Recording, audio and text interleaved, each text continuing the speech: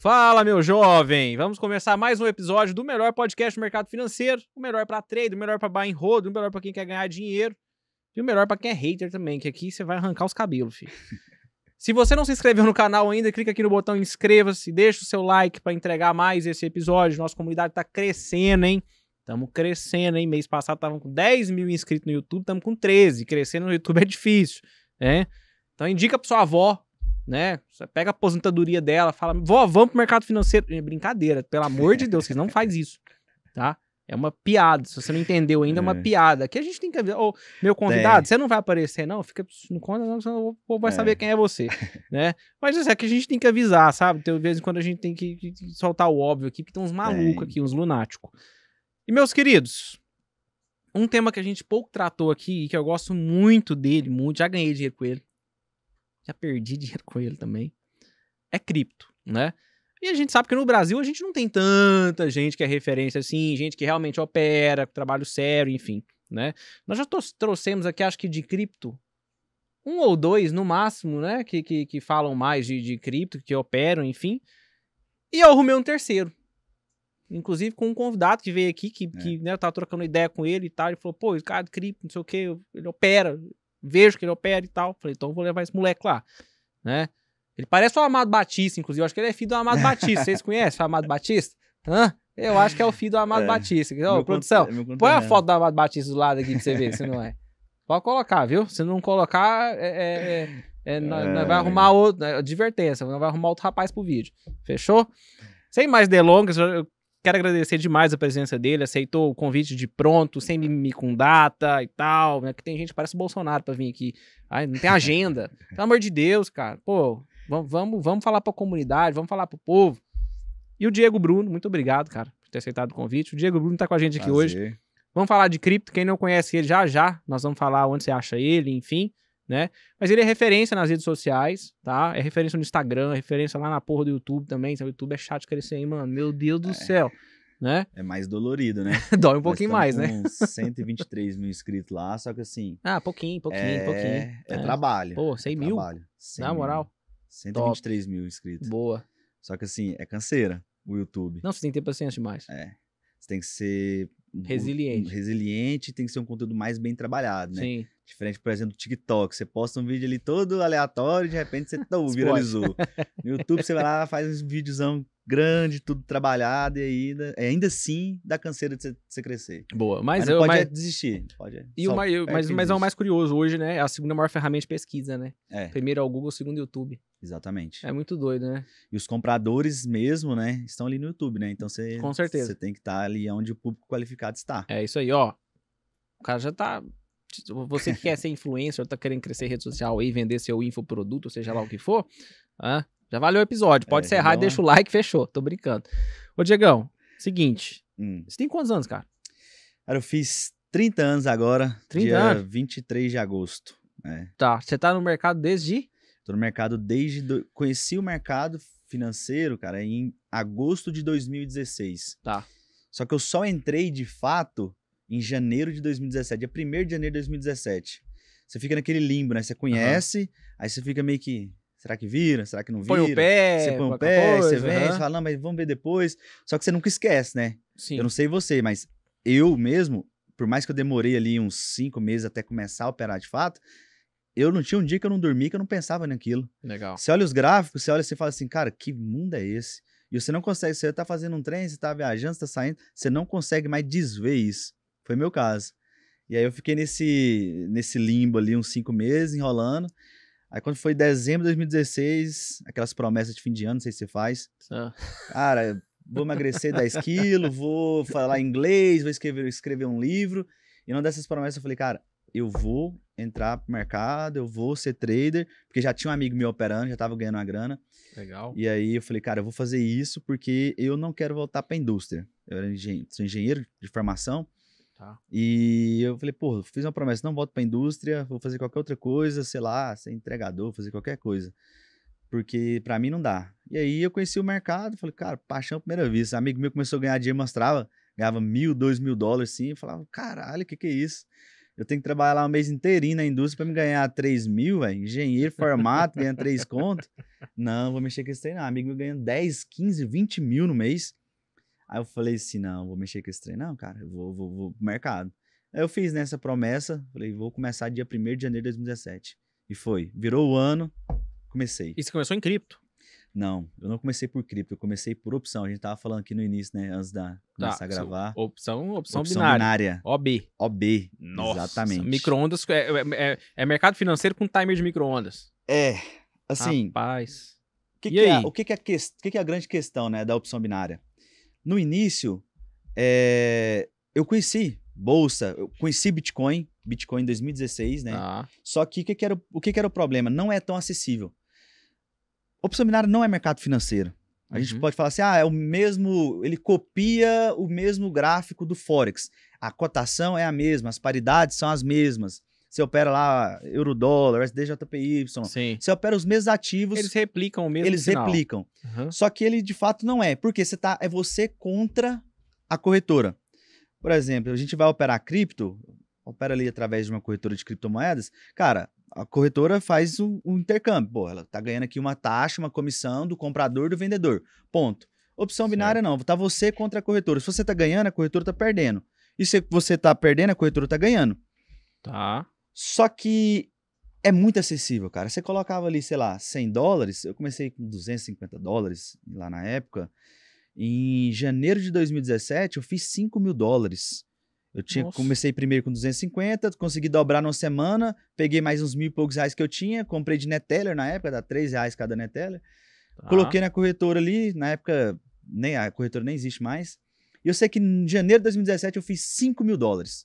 Certo. Eu falei, cara, eu sou eu sou o Warren Buffett, né? Eu sou assim, um guru disso aqui não existe. e assim, a gente também não tinha informação do que é opção binária, o que que virou. E a Tá. gente vai chegar lá agora e eu vou te explicar. Aham. E aí eu peguei. Já era, já era Ike Option? Ainda não. Ainda não. Eu sou de antes da IK Option. Tá. E aí, beleza, as corretoras vinham e tal, pagava certinho, bacaninha. E os outros mercados eu achava que era é muito inacessível. Agora, hoje, é acessível. Uhum. Hoje você opera mini índice ali com 50 reais, entendeu? Uhum. Você opera criptomoedas hoje ali com 10 dólares, 20 dólares, você consegue começar, 50 reais também. Só que não era acessível dessa forma, pelo menos lá em 2016, no início de 2017, quando eu conheci, não era. E opção binária era muito acessível. E o que, que é a parada, né? O brasileiro, por si só, ele já tem esse espírito de ser meio jogador, né?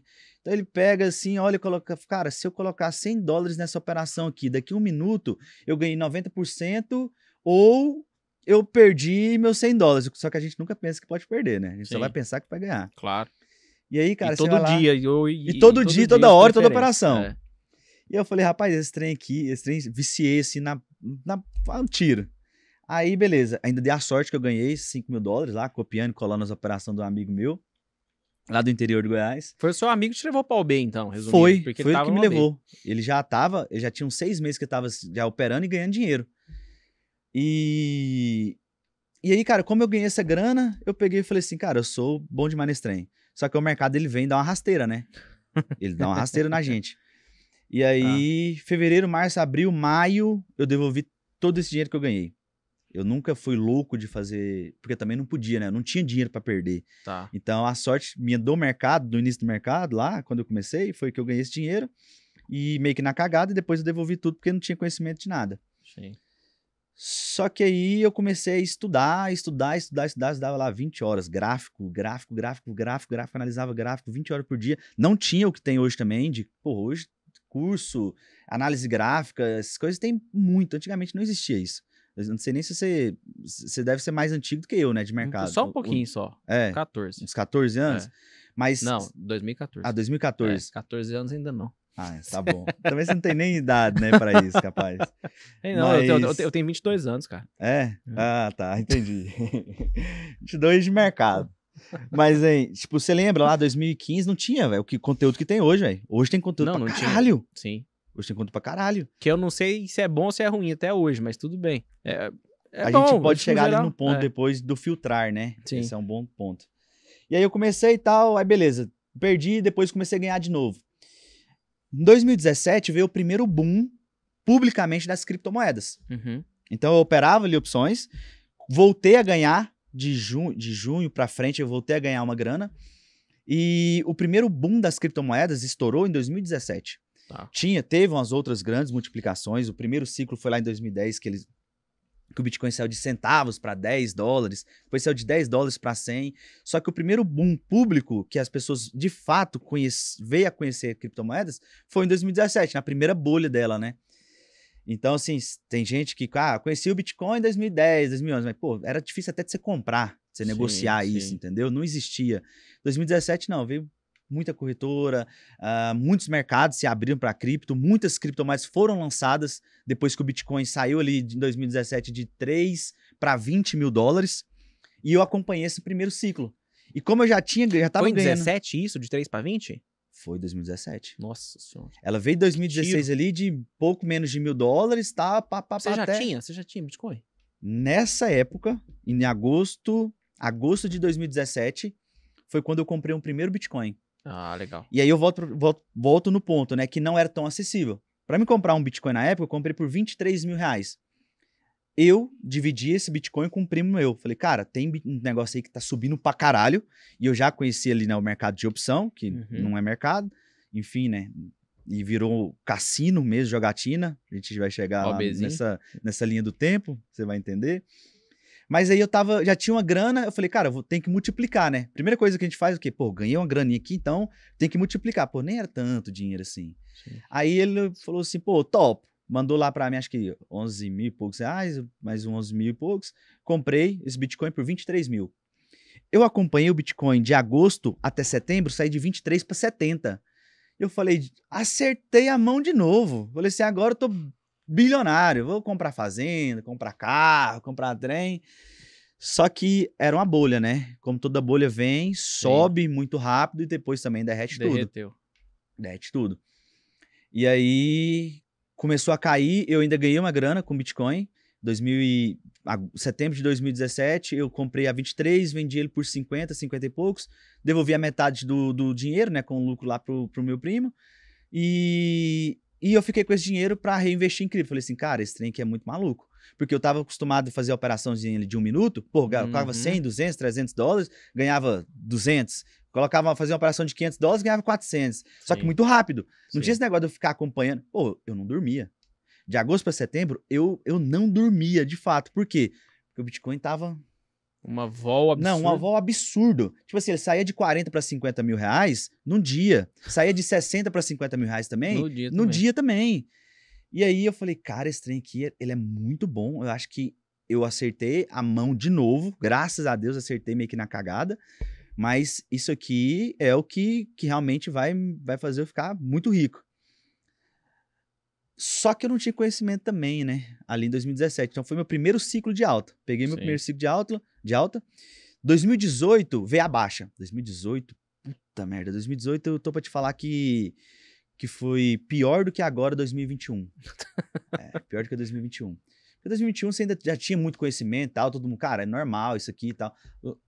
Hoje, quando vem um mercado de baixa, a gente fala, porra, a gente agradece às vezes. Fala, pô, peraí, se eu tô com caixa aqui, tô com dinheiro, pô, isso aqui vai ser bom pra mim. Sim. Só que quando caiu lá atrás, falava, vou perder meu dinheiro, acabou minha vida. Eu Fudeu. não, fudeu, o que, que eu fui inventar de mexer com isso? Eu tava ali com o meu dinheiro guardado e eu fui comprar essa porra de criptomoeda e tal. E aí foi 2018 muito ruim. você pensou que ia virar pó? Todo santo dia, né? Porque todo dia caia 10%.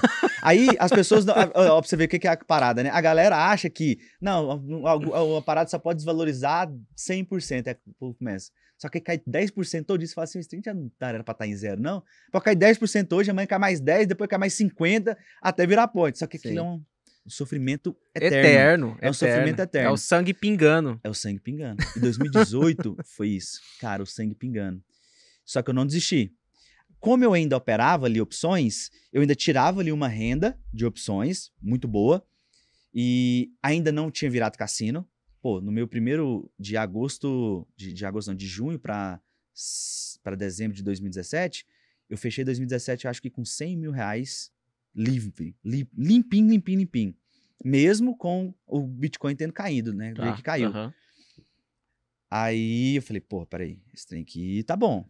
Quando foi em junho, junho, maio, junho de, do- de 2018, eu já tinha feito um milhão com opção. Por quê? Porque eles pagavam as corretoras. Com OB, Com a B. mas você conseguia sacar? Sacando. Sacando. Aí depois parou. O que, que foi o, o grande problema? Tá, vamos chegar lá em 2019, né? Vamos passar por 2018 ainda. Tá. Ainda tava ganhando dinheiro, tinha feito uma grana, só que o que, que eu pensei? Falei, cara, vou voltar pra cripto, Aham. porque agora eu tenho que multiplicar esse dinheiro, não adianta nada. Só Tá. que 2018 caía demais. Caía demais e eu não tinha muita coragem. Ainda coloquei uma grana ali, mas eu vi uma parte do meu dinheiro ainda meio que derreter, porque tudo que eu comprava, o trem caía 20% no dia, você falava, agora é oportunidade. Quando era no dia, caía mais 20%. Aí você falava, rapaz, o dia vai acabar. e aí eu separei, eu lembro que eu separei uma parte na época, uns, uns 200, 250 mil reais mais ou menos, coloquei em cripto, Bitcoin, Uhum. fui diversificando também nas outras altcoins que tinha, tava começando a explodir. É o primeiro ciclo também de, de valorização das altcoins. Se você acha que ADA, Doge subiu agora, porque vocês não viram 2017, tinha uma tal de Nano que prometia desbancar o Bitcoin. Essa Nano subiu de uma forma, ela subia 200, 300, 400% no dia, assim, você falava, cara, isso aqui não vai parar mais nunca, entendeu? Era loucura, É assim. alta infinita. É alta infinita. Alta infinita com as baixas de 90% pontual. Mas eu peguei pra estudar, pra aprender. Eu falei, cara, eu já aprendi um mercado. Opções eu não sabia que virar cassino, né? Então Uhum. já aprendi um mercado, vou para outro mercado agora. E, e foi o que aconteceu. Cripto, estudava cripto, cripto, cripto, cripto. E os fundamentos da análise gráfica é basicamente o mesmo para todos os mercados. É claro que alguns mercados, cada mercado tem uma particularidade. Mas os fundamentos eram os mesmos. Só que ainda assim não tinha a mesma facilidade de operar, de fazer trade igual tinha em outros mercados. Opções, por exemplo, né? Que eu colocava lá 100 dólares, eu conseguia transformar esses 100 em mil. Ainda não tinha. Esse negócio de alavancagem, essas coisas, veio tudo novo pro mercado. Não é coisa muito antiga. E aí, eu estudando e tal, bacana, in- investindo ali, mais, mais Bitcoin, algo- Ethereum, tava começando a, a pegar um hype, umas outras moedinhas também começando a pegar um hype. Mas 2018 foi muito ruim. Assim, triste. Triste, triste, triste. A sorte é que eu ainda tava ganhando dinheiro nesse outro mercado, né? Que é opções. Tá. E aí, cara, a é gente. o- gente, lembrando, opções que eles falam, opções binárias. É, tá? não, né? Não é opções, ah, tem opções da bolsa, tem opções de cripto. Exato. É, tem opções, tem vários tipos de opções, entendeu? Inclusive, é um, é, um- é um, é, um, é um outro ponto interessante pra gente falar depois, que é sobre É. opções de cripto. Opções de cripto, interessante. Eu um amigo eu, meu eu que... acho que mudou bastante o mercado depois das opções de cripto. Você não achou, não? Acho. Mas assim, eu nunca fui de operar opções. Tá. Não, beleza. Mas você toca Mas o barco vai- aí pra nós não tocar nesse desviar ponto, aqui. é. Aham. E aí, beleza. Ganhando ali uma grana e tal, tal. Meu, meu Bitcoin não subia, mas eu nunca desisti, porque, pô, você não consegue. Você começa a investir em cripto, é muito difícil você sair. Assim, é praticamente impossível. O cara falar assim, não, vou abandonar isso aqui, é muito difícil. Porque, pô, falava assim, cara, isso aqui, se voltar no topo histórico aqui, eu tô rico de novo, entendeu? Sim. Eu pensava, cara, se voltar no topo histórico aqui, dá mil e tantos por cento. E eu acho que vai acontecer, porque você vai pegando o gráfico lá do Bitcoin 2010, ele sempre teve esses, essa subida parabólica, queda também de 70%, 80%, 90%, depois Uhum. subida parabólica de novo, queda de 90%, subida parabólica, sempre teve. Eu falei, cara, vai acontecer de novo. Não é possível, que eu sou tão azarado que eu cheguei no, no fundo do, do mercado, que o mercado agora vai morrer, vai virar pó e não vai voltar mais. Esse trem já virou pó outras vezes aí, e não acabou. Aí eu fui estudar fundamento de mercado, né? Uhum. Eu estudando e tal. E aí, nesse intervalo de 2018 para 2019, opções ainda era muito bom, opções binárias. Tá. Cara, o que veio de gente pro mercado através de opções binárias não tá escrito. Não, eu imagino, que explodiu o marketing também. Explodiu aquilo. Era muito acessível. e aí, tipo assim, o marketing da- tipo, começou também a tomar conta, né? E a galera, porra, todo mundo queria opção binária. Por quê? É igual bet, por exemplo. Cara, por que que bet dominou o mercado? Bet de aposta esportiva. Aham, sim. Porque o cara vai ali e fala assim, vai, torce pra que time? Fluminense. Fluminense. Você olha, abre aqui, bet 365. É, inclusive, de- depois que você, aceitar patrocínio, né? A gente vai falar aqui, se algum desses viralizar, você tem que aceitar um patrocínio aí de um bet aí. Porque o que tem de bet hoje, tá, virou praga. Né? Aí você abre ali e tal, Fluminense, rapaz, meu flusão aqui, se ele ganhar do Botafogo, tá pagando 4 para 1. Se eu colocar 100, volta 400. Você nunca vai pensar que vai perder, a gente sempre vai pensar que tá ganhando. É, sempre. Aí você olha e fala assim, cara, vou botar 100 aqui, se voltar 400, hein? Final do jogo, domingo, bateu, beleza, virou 400. Não bateu, beleza. Opção binária, cara, era a mesma coisa. O cara olhava ali, pô, eu coloquei 100, ou vai voltar 190, ou vou, vou pra zero. e pronto, é muito rápido. Sim. É o que o, brasi o brasileiro ama. Isso. O brasileiro ama previsibilidade. O brasileiro adora concurso público. Por quê? Porque, cara, não é previsível, é seguro. Ele olha para o brasileiro olha pra, lá para a opção ou para a Bet e fala assim: "Não, cara, isso aqui eu tenho, eu sei o que, que vai acontecer. Não, o. Flamengo vai ganhar aqui, eu vou multiplicar que é 3 para 1. Não, o Uhum. Fluminense vai ganhar aqui é 3 para 1. O brasileiro só pensa nisso, cara. Ele não pensa no longo prazo. É, Eu vou investir aqui na ação da Petrobras, porque Sim. a empresa tá, é uma geradora de caixa e paga dividendos e não sei o quê. O cara não quer saber disso, irmão. O brasileiro, ele- e, e o brasileiro precisa, né? De, de ganhos mais rápidos, de renda. Sim. Então, Porra, a renda do brasileiro é muito ela é baixa. baixa, é. A renda é baixa.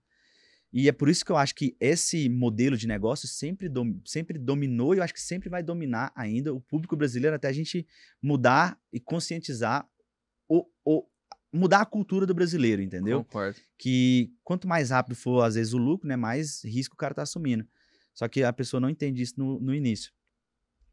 E, e a opção foi muito bom. Quando explodiu, ainda você falou, pagava? Pagava. Cara, quantos saques eu fiz de 20, 30 mil dólares? Eu cansei de ganhar 100 mil reais num dia e sacar e receber. Só que foi virando cassino. Foi virando é, jogatina. Porque se você vai no cassino você ganha demais, fala, peraí, tem alguma coisa aqui, tá roubando, inventa um trem, não vou pagar. e aí, 2019, né, já foi essa, já, a gente saiu lá de 2016 quando eu conheci, 2017, 2018, entramos aqui em 2019, foi ficando muito ruim. E aí, você tem que, quando você lucrava muito, eles diminuíam seu payout, eles não te pagavam, te bloqueava, Nossa, entendeu? que Em loucura. caso, às vezes demorava seis bloqueava meses. com grana na, na conta lá, tu bloqueava você. Não, eles não te dão, não te davam satisfação. Então, tipo assim, você começava o payout, né? O retorno sobre a operação era 90%. Tá. Beleza. Você começava a ganhar muito, eles iam lá e diminuir de 90% para 10%. Você falava, pô, não tem. Aí fica inviável você operar. Sim, Mesmo você acertando muito, fica inviável você operar. Sim. Aí não tá bom, o cara continua operando, beleza. Pede o saque, demora dois meses para receber. Nu. E verificação, verificação, coisa infinita. s- Justamente para não te pagar. Fazer você desistir, ou então, nesse período, você perder. Porque, cara, o trader vai ali, vai ganhando, vai ganhando, vai ganhando, ele acha que é um super-homem e de repente ele vai lá num dia, talvez perde tudo. E Sim. eles- eu acho que eles enrolavam para poder fazer isso. Exato, com certeza. E, e Até o como. cara perder. e- Não, e é e- justamente isso, não é? E, Tipo, é, é, é super legal você falar sobre isso, porque eu, é, uma vez rolou ali no, no, no, no Instagram do, do, do, do podcast é, um rolê desse sobre opções binárias, né? Ah, E aí o cara mandou mensagem, puta, eu até postei lá, eu vou, eu vou no, no, no, no, no- story, eu vou até achar aqui pra, pra, pra mostrar pra vocês. O cara. O cara falou, falou, meu, o seguinte, é, op- opção binária, puta, é foda. É, eu ganhei dinheiro, acho que ele tava com 2 ou 3 milhões, nossa. ele não conseguia sacar. Não saca. Ele É tipo assim.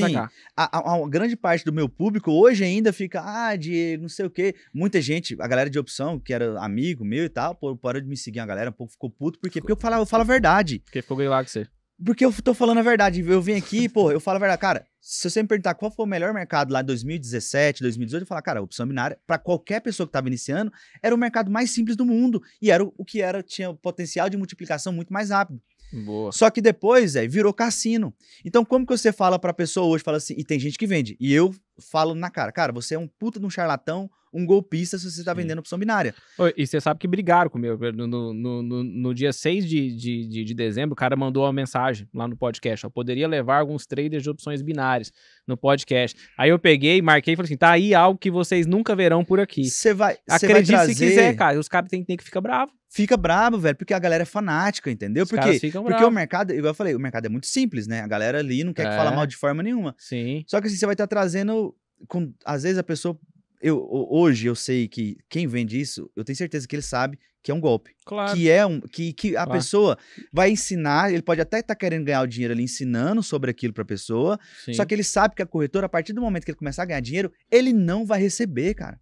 O dia que foi o basta pra mim, foi. Eu fiz 20, 25. Esse vídeo tava no meu YouTube, no meu canal do YouTube, eu até tirei depois. Porque depois a galera chega por opção, ainda acha que dava Uhum.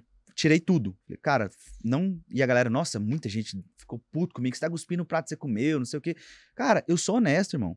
Eu fui criado no interior do Goiás, eu cresci que trabalhando, Sim. entendeu? Eu cresci, que, tipo, ganhando. Tudo, tudo que eu conquistei, véio, foi trabalhando mesmo, de verdade. Aí eu pego, acho uma parada, faz sentido, vou ganhar ensinando para as pessoas, só que na hora que ela aprender, ela nunca vai sacar o dinheiro dela. Ela vai ganhar, mas não vai levar. É louco. Pô, É, tá maluco? é. A galera começou a xingar, corretor, não, não sei o que lá, a gente vai te patrocinar. Vai não sei... o- Fala, Ou, eu falar, lê meus lábios, amigo. Eu não me misturo com golpista, entendeu? Vou te patrocinar. Vou te é foda, hein? patrocinar, é. Por quê? Porque eles ganham no prejuízo da pessoa. Sim. Então, tipo assim, se eu tô levando o cara pra ali, ensino ele mais ou menos, ou então não falo que ele não vai receber, ele vai ficar ali depositando mil, perde, mil, perde, mil, não sei o que lá. Quando o cara perdeu 20 mil. Na hora que ele ganhar, que ele conseguir recuperar e lucrar, ele nunca vai sacar. Então eu falo, peraí, Boa. peraí, isso aí não existe, entendeu? E foi aonde foi o meu estopim, né? E aí, Legal. de eu ter conhecido o, o criptomoedas, né, Bitcoin lá em, 2000 já- em agosto de 2017, foi o que fez eu dar all-in ali de 2019 para 2020. Foi Em quando entrou mais ou menos a pandemia, né? Legal. E aí eu já tava com a grana, já tinha ali uma grana e tal, já tinha comprado, já tinha, pô, já tinha casa, já tinha trem. E a galera até acha, pô, todo mundo acha que o trader ganhou dinheiro ah, vendendo curso, essas coisas. Sim, Pô, é. eu já tinha grana, eu já tinha grana suficiente para poder, assim, viver muito, muito, muito bem. Já tinha, pô, carro importado, já tinha apartamento, tinha muita grana operando. Tanto de opções, quanto ali a minha, um, um- um pequeno ciclo que eu peguei depois de 2018 para 2019. Que as criptomoedas inverteu de novo. E eu tinha colocado muito mais grana dessa vez. Entendi. Então eu já tinha uma grana. Só que eu pensei, eu falei assim, cara, não dá pra continuar nesse mercado. Isso aqui virou golpe. Eu fui lá, gravei um vídeo, galera, tô despedindo, é o fim pra mim. Ah, Esse vídeo ainda tá no meu canal, de 2019, se eu não me engano. É o fim pra mim, que opção não dá, porque você vai ganhar, mas você não vai levar, entende? E quem quiser continuar, beleza, ok. Eu, Diego, não falo mais disso. Estou migrando para outros mercados, bem, depois eu faço para vocês. E como eu já conhecia cripto, eu ainda tentei. Porra, operei Forex ali um tempo, operei mini índice, operei ali bolsa e tal. Mas, cara, eu nunca consegui esquecer cripto. Porque a volatilidade de cripto é sinistra. É. E, cara, é sinistra. E se é você bizarro. consegue sobreviver à volatilidade, não tem nada. Cara, aquilo não existe, nada parecido. Nem a opção não era, não dava adrenalina igual dava de cripto. Apesar de que se você se deixar levar por isso, você vai perder dinheiro, Com né? certeza. Vai morrer. Vai morrer. Só que a volatilidade de cripto, cara, é muito bom quando você aprende a operar ela. Sim. E aí eu vim, fiquei um tempo estudando mais. Pá, falei, cara, agora existe ferramentas aqui e tal pra operar cripto também, que antes não existia. Sim. Aí já tinha Binance, já muito grande. Sim. FTX. Já tinha ferramentas de alavanca. FTX ainda veio depois. Tá. FTX ainda conheci ela depois, a gente vai chegar lá. Tá. FTX eu escapei fedendo dela. Eu vou te, vou te dizer porque que eu FTX foi escapei. foda. É, FTX foi foda. E aí eu falei assim, cara, vou migrar pra isso aqui. Falei pra minha galera, falei pro meu pool, falei, galera, tô migrando pra cripto e ponto. E aí Deus abençoou de novo, que eu peguei ali um ciclo. Aí eu entrei, né? Primeiro ciclo de alta 2017, 2018 baixa, 2019 alta, 2000, 2019 teve uma meia alta. Quando foi entrando 2020, teve o Covid, né? Que aí o mercado caiu muito. Sim. O Bitcoin caiu Ferrou tudo. 60%. Ah, Num, no, sim, foi coisa de 3, 4 dias ali. ah, numa semana, o Bitcoin caiu 60%. E aí eu tenho até um post depois, eu acho que eu vou mandar fazer um quadro dele. Eu falei, cara, se o Bitcoin vier para 3.500 dólares de novo, eu vou dar all-in. Eu vou vender tudo que eu tenho e vou comprar de Bitcoin. uhum. E foi o que eu fiz. 2020, no crash do Covid. Tem esse print, esse print eu ainda vou mandar ele fazer um quadro dele. Ah, postei no meu Instagram e tal. E ele foi pra 3.750 dólares. Falei assim, cara, é oportunidade. Por quê? Porque eu vi lá em 2017 ia sair de 3 mil pra 20. Eu falei, se essa parada sai de 3 mil de novo pra 20, porra, eu acertei na Mega você Sena. Eu multipliquei muitas vezes o meu dinheiro. Sim. E aí eu dei uma tacada muito boa. E aí foi onde eu dei uma tacada muito boa.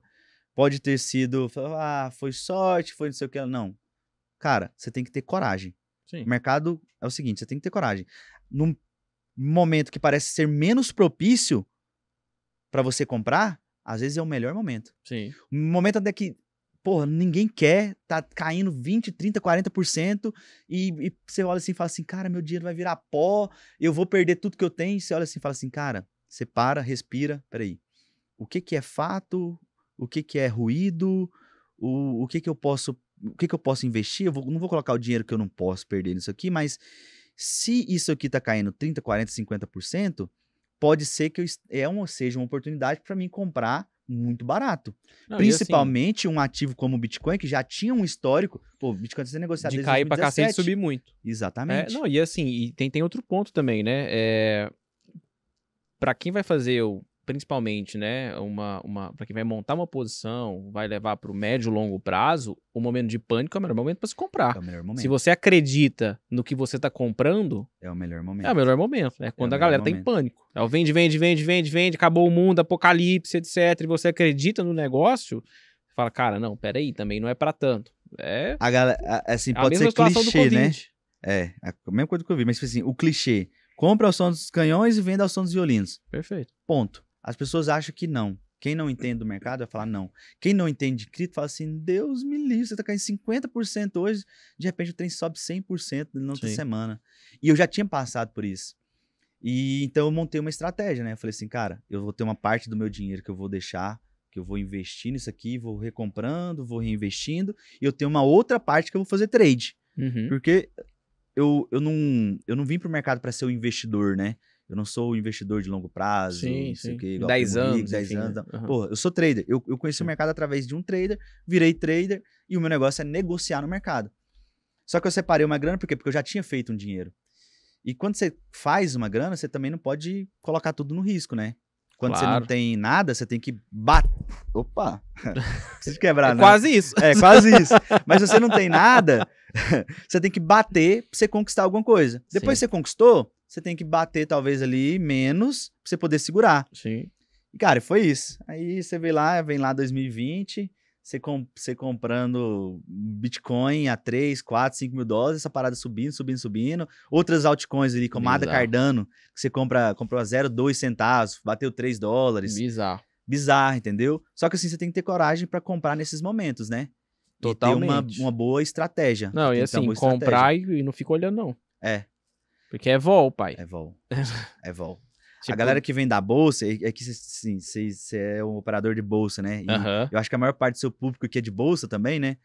É. A galera. não, tipo, mas assim, por incrível que tô te falando, tem os caras até de opção binária. até de opção binária vem, Que- né? Não sei de onde vem, mas, a mas, é, mas é bom que tem chance de, de sair dessa merda. De eliminar. É. Ó, anotem o dia, a hora e o meu nome. Eu estou falando porque eu tenho propriedade para falar. Você perguntou de que option.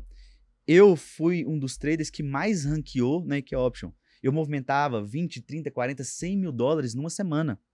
Entendeu? Eu ganhei alguns milhões com opções. Só que opções binárias virou golpe. Qualquer pessoa que for vender opções binárias para você, você pode olhar para ele e falar assim, irmão, você é um golpista, um estelionatário. Porque a partir do momento em que eu começar a ganhar dinheiro, essas corretoras não vão me pagar. É. Aí, eu vou ganhar, mas não vou levar. e aí, é eu ponto, e aí a gente pode entendeu? aproveitar, inclusive, lá, porque no dia 6 eu postei aquilo lá que eu te mostrei. Aham. Aí no dia 7, né, o pessoal. Apareceu uma galera braba, braba. Brabo. braba. Ô, ô, eles é fanático. Eles, é- eles são xiita, velho. Eles é. Eles são xiita, é, Os é. caras é Aí fanático. os caras veio, aí eu postei, né? Fomos questionados ao dizermos que não traríamos traders de opções binárias ao podcast. Aí. Aí eu falei, mas pareceu um caso curioso. Ninguém poderia imaginar. Olha o vídeo em seguida. Ah. Olha, ó. Isso é um vídeo. Fica de olho aí que ele já tá, tá, tá automático já. Ah. Olha o que esse cara fala. Fiz 2 milhões, saquei um 100k com OB, com 1.900 dólares em 7 dias. Saca tudo. Eu quebrei de tanto que pede verificação e fica lá parado e perdendo. Você acabou de me falar. Eu te falei isso aqui antes de você me antes te mostrar. Sim, por isso que eu Não tô foi? te mostrando. Cara, eu, assim, é isso aqui. Os caras seguram o saco pra você ir girando e perdendo. Isso, girando, sai Já que a perdendo. maioria dos traders, enfim. Eu fui ao in, eu, assim, a minha Você sorte, algum né? caso de alguém que deixou o dinheiro parado lá e foi sacando e conseguiu sacar tudo? Não, eu consegui. Só que a última vez que eu migrei de. Mas assim, o seu ainda tava ainda não tava tão ruim, né? não, o golpe é. tava É, o meu golpe tava assim, a pirâmide tava chegando no final, mas ainda não tava no final. Entendi. Mas eu conheço muita gente que não consegue sacar, velho, que esse te bloqueia e tal, e acabou. E a minha sorte de ter. E eu tenho que agradecer também ao mercado de opções. Eu não nunca cuspi, gente, no prato que eu comi, não. Tenho que agradecer porque, porque se eu não tivesse passado por opções, eu não tinha chegado em cripto. Sim. Que foi o que realmente fala, cara, aí cripto mudou minha vida, É. verdade. Você comprar a da Cardano, igual eu comprei por 0,2 centavos e vender lá 2 dólares. Nossa, mano, tá dois centavos. eu comprar a BNB a, sei lá, 20 dólares e vender ela a 300, 400. Solana, que nós comprou a primeira vez a 20 e vender ela a 200. sério. Boa. Então, assim, mudou, mudou a minha vida, entendeu? Mesmo, mesmo às vezes o ruim te leva pro bom. Às vezes Sim. você começou talvez no outro mercado, você fala assim, cara, eu perdi uma grana aqui em mini índice, mas eu mudei pro dólar e, porra, ganhei dinheiro pra caralho. Ou às vezes vice-versa, entendeu? Ou então comecei no mini índice e de repente eu fui, sei lá, operar ação E aí, porra, peguei, sei lá, algum aí, estourou muito. Então, mesmo às vezes o que você acha que, que é ruim, às vezes pode ser bom no, no futuro, entendeu? Perfeito. Então, eu, eu não tenho Perfeito. não tenho vergonha de falar. Tem gente que, pô, tem gente que fala, não, Diego, não fala disso. Fala, cara, foda-se, entendeu? Fez parte ali Eu do meu passei lá começo, mesmo, ué. Eu passei lá e, principalmente, eu posso alertar quem tá querendo, né? Não, e isso é o mais Alertar legal. tá Isso, querendo, na minha humilde entendeu? opinião, isso é o mais legal. É. É, você, de fato, é, é, saber, que, como se diz, é você ter passado por lá e falar assim, ó, deixa eu te falar, eu não tô falando por quem nunca... Não, eu, passando- não sou alguém que nunca passei por lá, eu já Exatamente. passei eu por não lá. Sou, eu não eu sou já... hater do, de- do mercado, não. Exato, Eu sou hater do que virou mercado, entendeu? perfeito, Eu sou hater do que virou. perfeito. Cara, saiu um fato esses dias pra trás, Ah. esses dias não, ontem, antes de ontem, sobre o ETF do Bitcoin, né? Saiu. Enfim e tal, e aí o mercado subiu quanto? Chegou a subir 10%? O Bitcoin saiu de 27 mil dólares para 30, direto. Subiu 10%. Reto, né? 10,5%. Boa. Aí depois 10,5. devolveu lá, enfim, né? Devolveu Devolveu. bem, enfim, não sei como é que tá hoje e tal. Mas é real essa, essa, essa, parada aí? Vai ter mesmo? Bom. Não vai ter? Como é, que, como, é, como é que é essa história aí? Vamos lá. Agora que a gente já falou do passado conturbado desses outros mercados, vamos entrar em cripto de fato, né? Vamos falar de cripto. Vamos falar de cripto agora, que é o que mudou realmente assim a minha vida bem e que eu acredito que pode transformar a vida de qualquer um. Se você acertar uma moedinha só, você já tá bem. Um Boa. trade só, você já tá bem, entendeu? Boa. Vem o caso da, do ETF, por exemplo. Não sei se foi, assim, intencional ou se foi algo realmente é, planejado ou não foi planejado. Por quê? Existe um portal de notícias que chama Cointelegraph. Aham. Esse portal ele é muito famoso, portal de notícia de criptomoedas.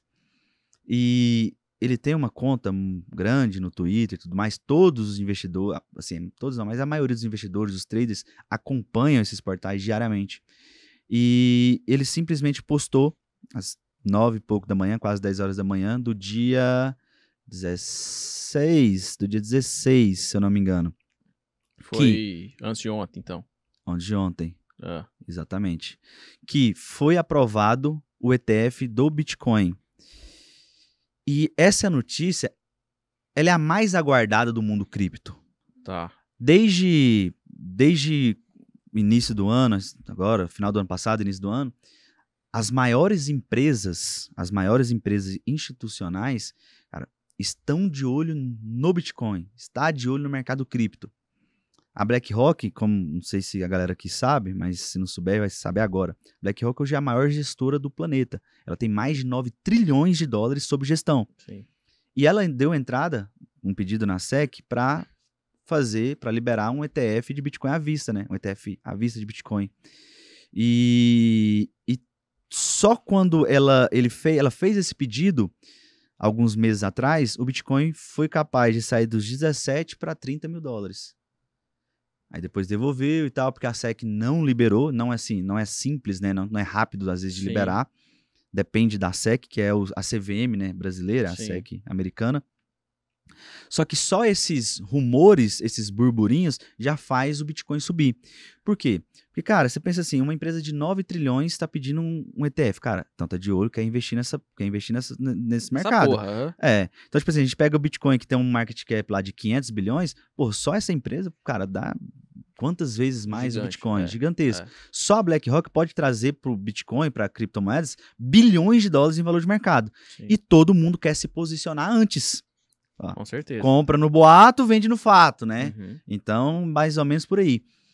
E foi o que aconteceu, cara. Eles postaram, fizeram essa postagem, não era verídica, não, é post... não foi, de fato, a, pró- a própria BlackRock veio a público e falou, cara, nós ainda estamos em análise, Uhum. ah, com pedido de análise na SEC, não foi aprovado, e foi onde o Bitcoin saiu, né, dos 27 para 30 na notícia, e de 30 voltou ali para 28, 28,5 mais ou menos, Sim. na cotação atual do momento que a gente está gravando aqui, né. Tá. E, mas mesmo assim, mesmo devolvendo isso, a gente olha e fala, cara, é um mercado que não morreu, né? É um mercado que não vai virar pó. Porque, pô, notícia negativa, vai sair, não vai liberar, vai liberar. Pô, o Bitcoin tá valendo 28 mil dólares, cara. Isso é quase 150 mil reais, Sim. entende? Mas o que faz realmente esse gerar nessas grandes valorizações nesse momento é realmente esses rumores. É porque existem, existem hoje não só BlackRock, Fidelity, HSBC, cara, as maiores instituições do planeta querem comprar Bitcoin, querem investir no mercado. Só que a forma acho que mais fácil talvez seja um próprio ETF, né? Menos taxa, você não tem que é, armazenar o Bitcoin, porque assim, a tecnologia por trás das criptomoedas é fantástica. Sim. Se você analisar, não existe nenhum ativo que seja tão seu quanto o Bitcoin. Ah, mas o ouro, ah, mas a terra. Porra, a terra você pode ser confiscada. Ah, o MST invade sua fazenda. Pô, fala que eu já tive fazenda lá perto. Nós era um inferno. Gente, MST invadindo terra. É, você tem um apartamento aí, de repente vem um bolos da vida e fala que não, apartamento vazio, você não pode ficar com ele vazio, você tem que dar para quem não tem, entendeu? E aqui em São Paulo, a galera progressista, né, tem, compra muito sim, essa ideia. Então, sim. assim, só que com Bitcoin não, cara, o Bitcoin, ele, ele é seu. Você fala, como assim, Diego, o Bitcoin ele é seu, cara? O Bitcoin, ele fica, o Bitcoin é só moeda. Ele tá rodando dentro de uma rede, que chama blockchain, e é uma rede descentralizada. Por que que os Estados Unidos, o Brasil, a China, não sei. A gente fala, ah, vai banir o Bitcoin. Não. É, assim, é impossível. Não tem como você banir o Bitcoin, não tem como você parar a rede, porque é algo des, extremamente descentralizado. Você não consegue controlar isso, cara. Você não é... consegue controlar. Aliás, eles têm controle nenhum. Zero. É. Ah, mas eu posso taxar. Pô, pode taxar. Às vezes, se você também não quiser pagar, às vezes você não vai pagar. Sim. Eu pago os impostos, mas assim, quem às vezes não quiser, não vai pagar. Ah, mas hoje até na bolsa, os tem o cara se quiser pagar ou não, ele paga. Exatamente. Ah, depois ele corrige tem um processo, não, beleza, mas ponto, paga, né? entendeu?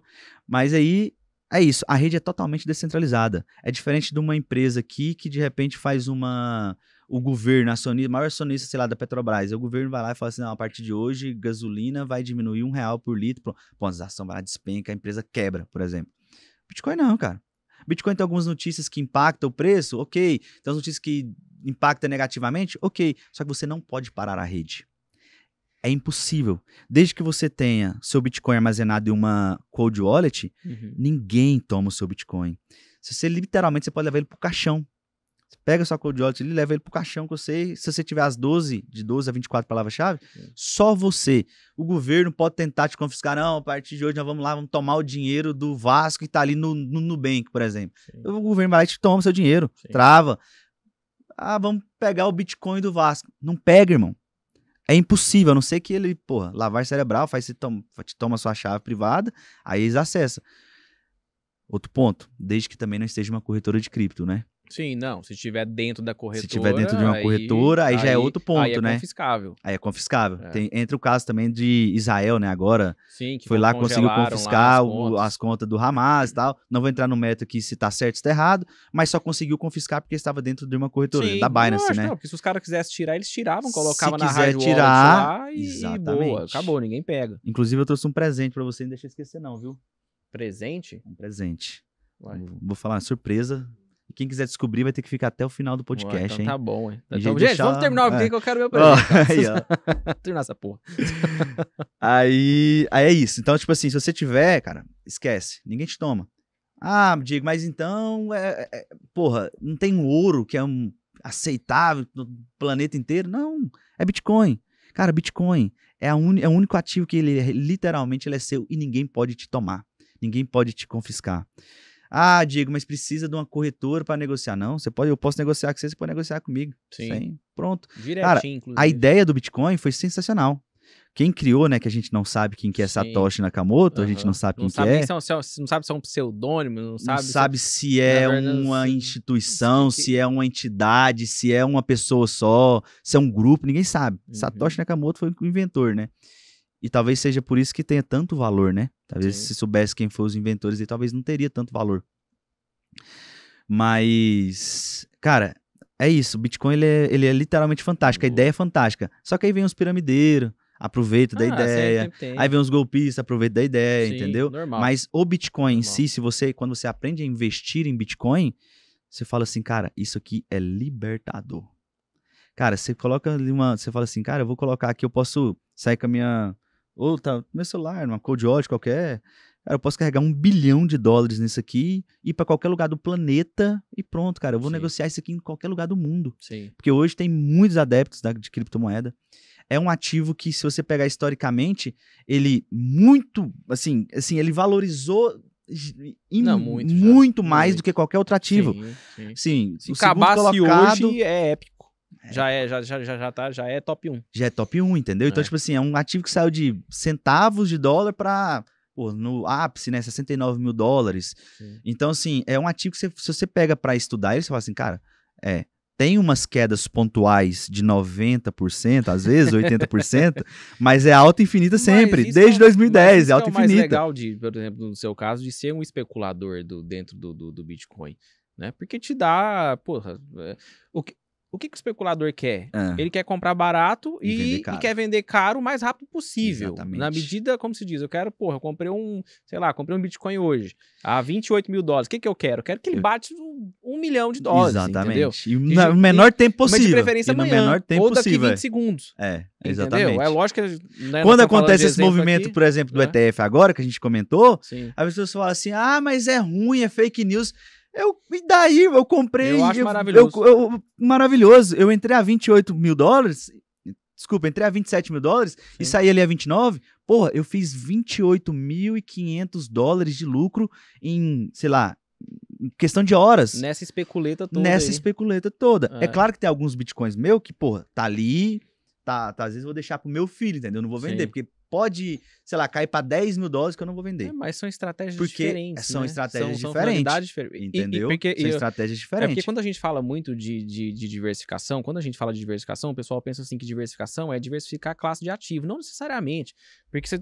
você é, é, para quem é especulador, principalmente, uma das Uhum. primeiras coisas que a gente tem que aprender quando as coisas começam a dar certo para você no meio da especulação, no meio daquela operação mais rápida, da, da operação que você abre e fecha no mesmo dia, da operação que você compra num dia e vende daqui dois, daqui três, daqui uma semana, daqui dois meses, daqui seis meses, é que você precisa diversificar a estratégia. Você precisa começar a comprar né, algo, né, ou até mesmo operar vendido, enfim, mas em regra a gente compra, né, ativos que você acredite que daqui 5, 8, 10, 12 anos vão render fruto. E aí Exatamente. você.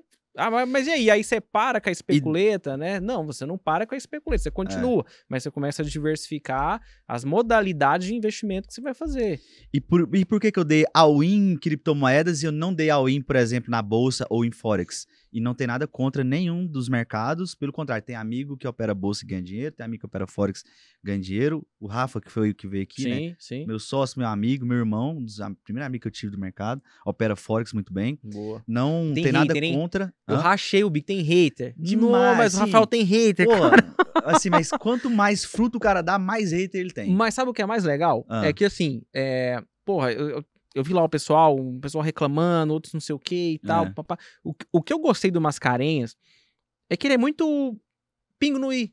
É. É tipo assim, falou, cara, é, é, é simples. Pô, mas você falava de opções binárias. Falei, cara, deixa eu te falar. Aí ele explicou lá a questão das opções binárias, etc e tal, enfim. E ele ainda, né, dá aquela cutucada. Ele falou assim, inclusive, eu já cansei de ver nego na opções binárias ganhar dinheiro. E vejo muita gente dentro da bolsa, dentro do próprio Forex, que não ganha um centavo. Mas assim, muito. Esse é doido, né? Mas é muito. Isso é doido. Isso é eu doido. parei, aí. eu parei, fiquei olhando e falei assim, cara, é, a gente falando isso parece, pra quem tá ouvindo, que a gente tá defendendo o OB. E nós não estamos defendendo o OB. Não. Nós estamos constatando meramente que, olha, e, se é É um um fato. fato, o que, que vai atrair mais? Esse mercado vai atrair muito mais. Claro, hein? Entendeu? É Eu igual eu óbvio. falei pra você. Hoje existe muita gente em Forex, opções, em Forex, cripto e bolsa, que veio de opções. Mas muito.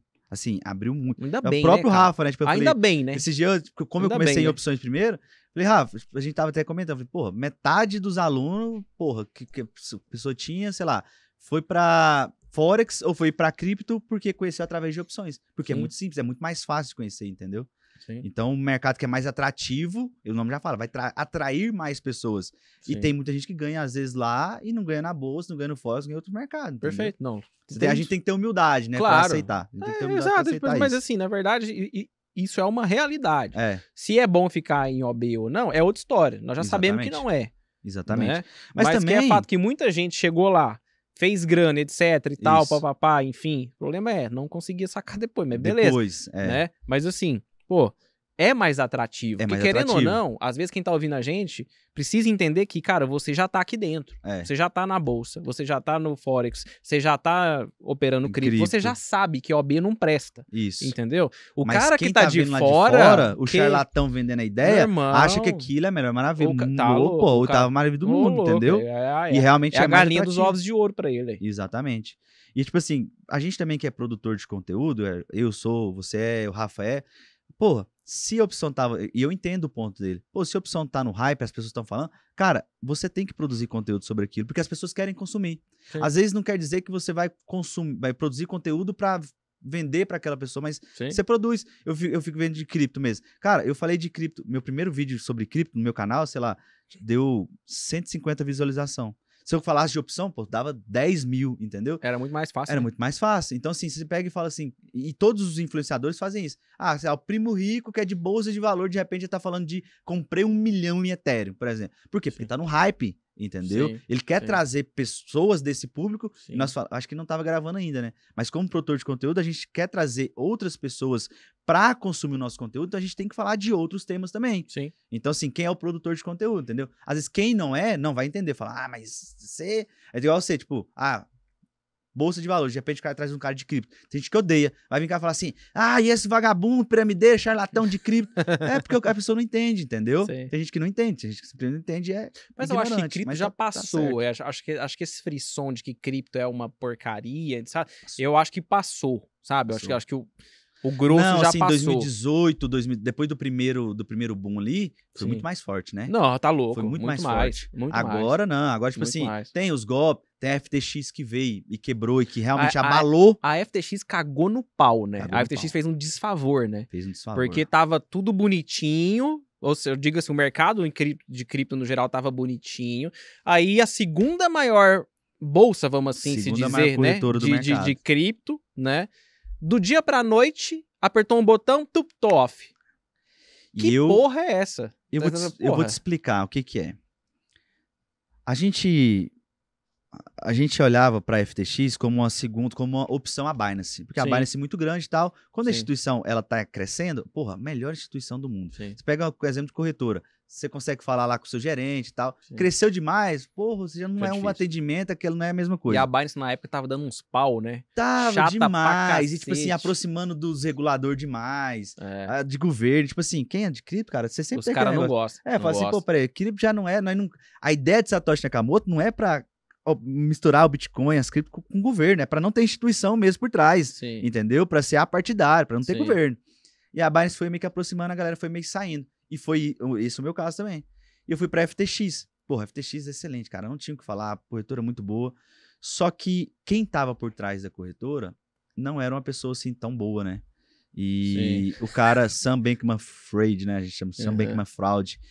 E, e Nossa, assim, cara. sinistro. O cara, considerado um gênio do mercado e tal, muito inteligente, ganhou muito dinheiro fazendo arbitragem de criptomoedas, que é comprava por um preço nos Uhum. Estados Unidos e vendia mais caro no Japão. Essa foi a Uhum. estratégia que ele utilizou para ganhar dinheiro.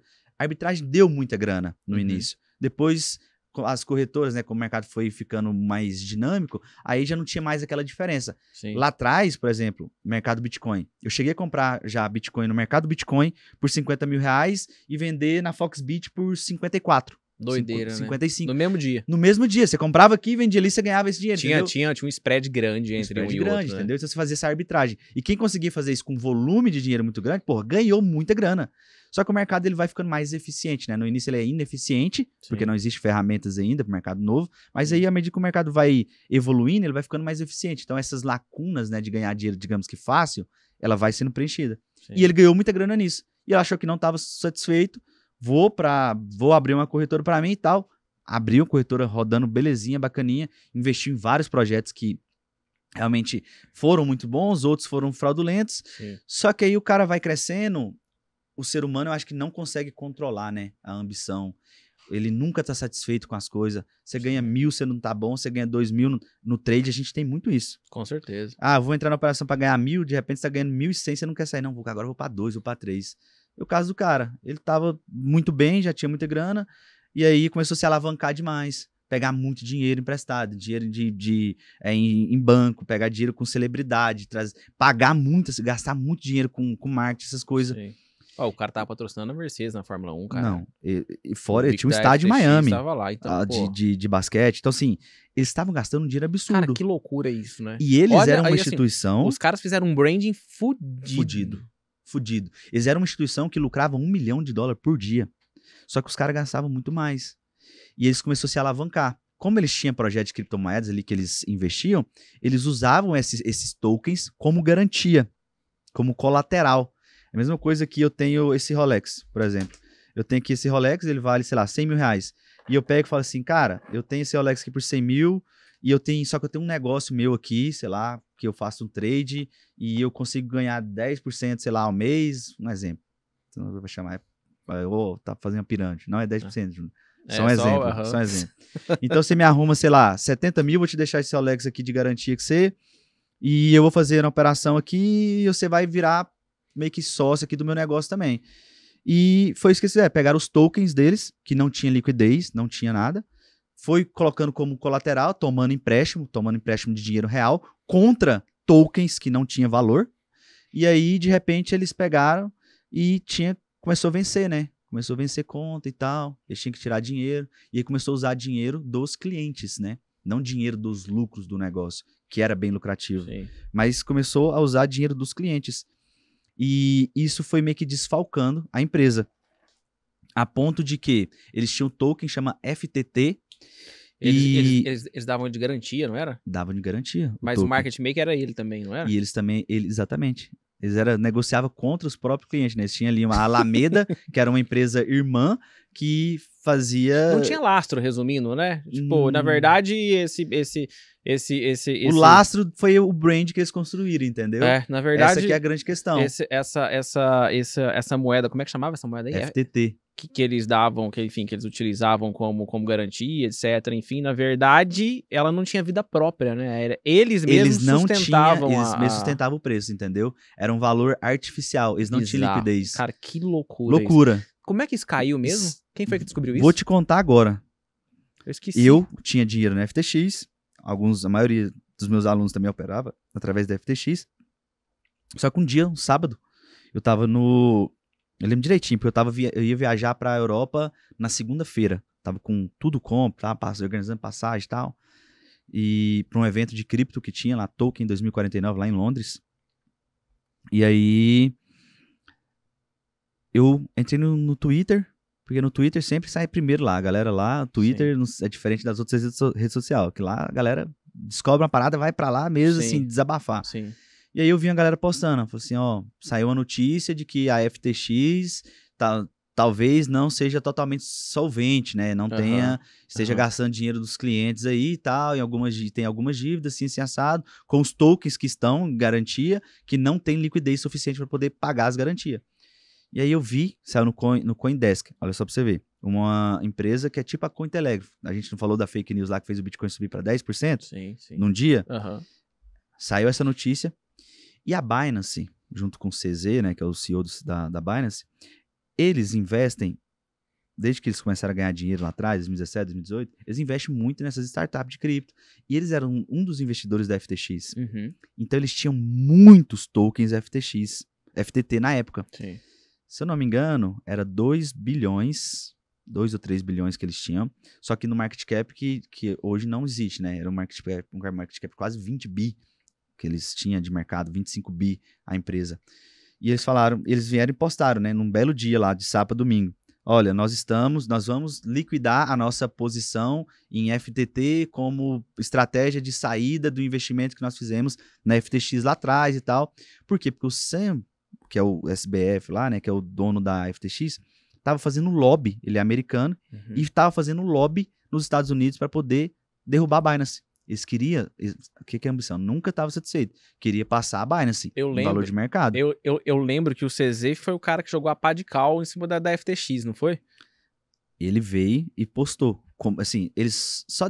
Eu acho que eles só quiseram desinvestir por questão da por questão que o, S, o, o Sam tava fazendo, de fato, Do lobby. lobby contra eles. Só falou assim, cara, peraí, então por que, que eu vou ficar investindo nesses caras aqui? Esses Não era tá fazendo propriamente lobby esse fato ele. ainda, né? Não, não era fato, tipo assim, Não não era era, essa- fato. Não era esse BO da FTT ainda, não, né? não era o BO, não. É. Só que o que, que ele fez? Por questão de, digamos, talvez pirraça, eu acho que ele talvez não tenha previsto que esse tweet poderia, de fato, desencadear uma corrida. Por quê? Porque o que quebrou não foi o, o, o, o tweet em si e tal, a briga. O que, desen- o que quebra qualquer e quebra qualquer instituição Sim. financeira é uma corrida bancária. Correria. Pode ser o Nubank, pode ser o Itaú, falar, não, mas é muito sólido. Nenhuma Cara, dá um instituição absurdo. é, nenhuma instituição manter. financeira aguenta uma corrida bancária. Ah, não, o Nubank não aguenta? Não aguenta. Aí a Cristina vai achar ruim, talvez, aí e tal. Mas. Não, mas é, é só- é- é só você pensar o seguinte: quanto você tem de dinheiro aqui de, de, de, de, cliente? Ah, um um exemplo, eu tenho 100 reais, beleza. Porra, se todo mundo chegar e falar assim, ó, eu quero 99. Exatamente. Fudeu. Fudeu. fala, Meu Deus do céu. É, e o banco, e sim, instituição geralmente trabalha, né, com é, capital fracionado. Então eles têm, está sempre, Totalmente. está sempre alavancado, né? totalmente, totalmente. E, e- e a, a corrida foi o que fez realmente a FTX quebrar e, consequentemente, fazer o token derreter. Só que aí, como eu vi esse tweet, eu falei assim, cara, e eu já tinha visto muita coisa acontecer no mercado. Cara, eu escapei de FT, de Terra Luna, eu não só escapei, como eu ganhei uma grana também. Foi minha, minha primeira sobrevivência também no mercado. Virou a mão. eu tinha, sei lá, uns 10% do meu portfólio em Terra Luna e o ST. O ST é uma stablecoin, né? Que ela é Sim, pare- era pareada ao dólar. Então, Aham. um ST vale um, um USD. Uhum. E eu tinha, tava exposto. E eu peguei no primeiro rumor, eu falei, cara, cripto é o seguinte: você primeiro você tira o seu dinheiro, Depois você vê o que tá acontecendo. depois você vê o que, que tá acontecendo, entendeu? E não só cripto. Pra mim, qualquer instituição pode ser a melhor, pode ser a pior, pode ser o que for. Primeiro você tira o seu dinheiro, vai pra segurança, depois você vê o que aconteceu, entendeu? É uma- Não entre em pânico, mas se for panicar, seja o primeiro. Exatamente. Não entre em pânico, mas se for panicar, tem que ser o primeiro. Ou então, assim, o investidor inteligente tira o dinheiro e o investidor mais inteligente tira o dinheiro primeiro, Sim, entendeu? sim. E foi o que eu fiz. Terra Luna, eu tirei meu dinheiro primeiro, depois eu, peraí, se não acontecer nada e tal, depois eu vou e compro de novo. Tô com meu dinheiro no bolso. E aí ainda dei sorte e tal, shortei Terra Luna. Shortar é vender, né? Vender descoberto. Pra vendida. aham. operar vendido. E vendi, ganhei uma grana muito boa. O, o valor do meu da minha carteira que desvalorizou com a queda, que eu tinha comprado, sei lá, não lembro qual foi o preço médio. Eu sei que eu vendi meus, a minha, par- a minha Vendeu posição com um pouco de prejuízo, mas esse short me gerou um lucro que foi suficiente para devolver todo o, o- prejuízo que eu tinha da minha posição. E FTT foi a mesma coisa. Tirei o meu dinheiro, tirei tudo, fui lá na, na comunidade, pra galera, meus alunos, falei, galera, ó, esse trem aqui tá acontecendo isso, isso e isso. Eu já vi outras vezes acontecer. Pode ser que dessa vez seja diferente, mas eu prefiro não arriscar. Porra, tem a MT Gox aí, que foi a maior corretora do mundo, antes mesmo de Binance e tudo mais. Quebrou, foi hackeado, quebrou, perdeu dinheiro todo mundo. Não fique, não entre em pânico, tá, turma? Não é que vai acontecer. Sim, mas assim, pode sim, acontecer, entendeu? Claro. Qualquer instituição Sim. financeira, não só de cripto, sim. qualquer instituição pode quebrar. Teve Silicon Valley Bank lá nos Estados Unidos, teve, pô, acho que dois ou três bancos nos Estados Unidos, agora esse ano quebrou, entendeu? Sim. Então, assim, banco brasileiro também já quebrou. Lehman Tudo. Brothers. Lehman cara. Brothers, que foi um banco centenário, quebrou. Então, não tem nada imune ao risco. Não tem nada que, ah, não, isso é totalmente, essa instituição é totalmente solvente, isso não, nunca vai quebrar. Não existe. Qualquer um pode quebrar. O Warren, Buffett pode quebrar, velho. Não, isso não tem jeito. Sim. Só que eu prefiro tirar. E eu falei, ah, galera, tirei, gravei um vídeo no domingo.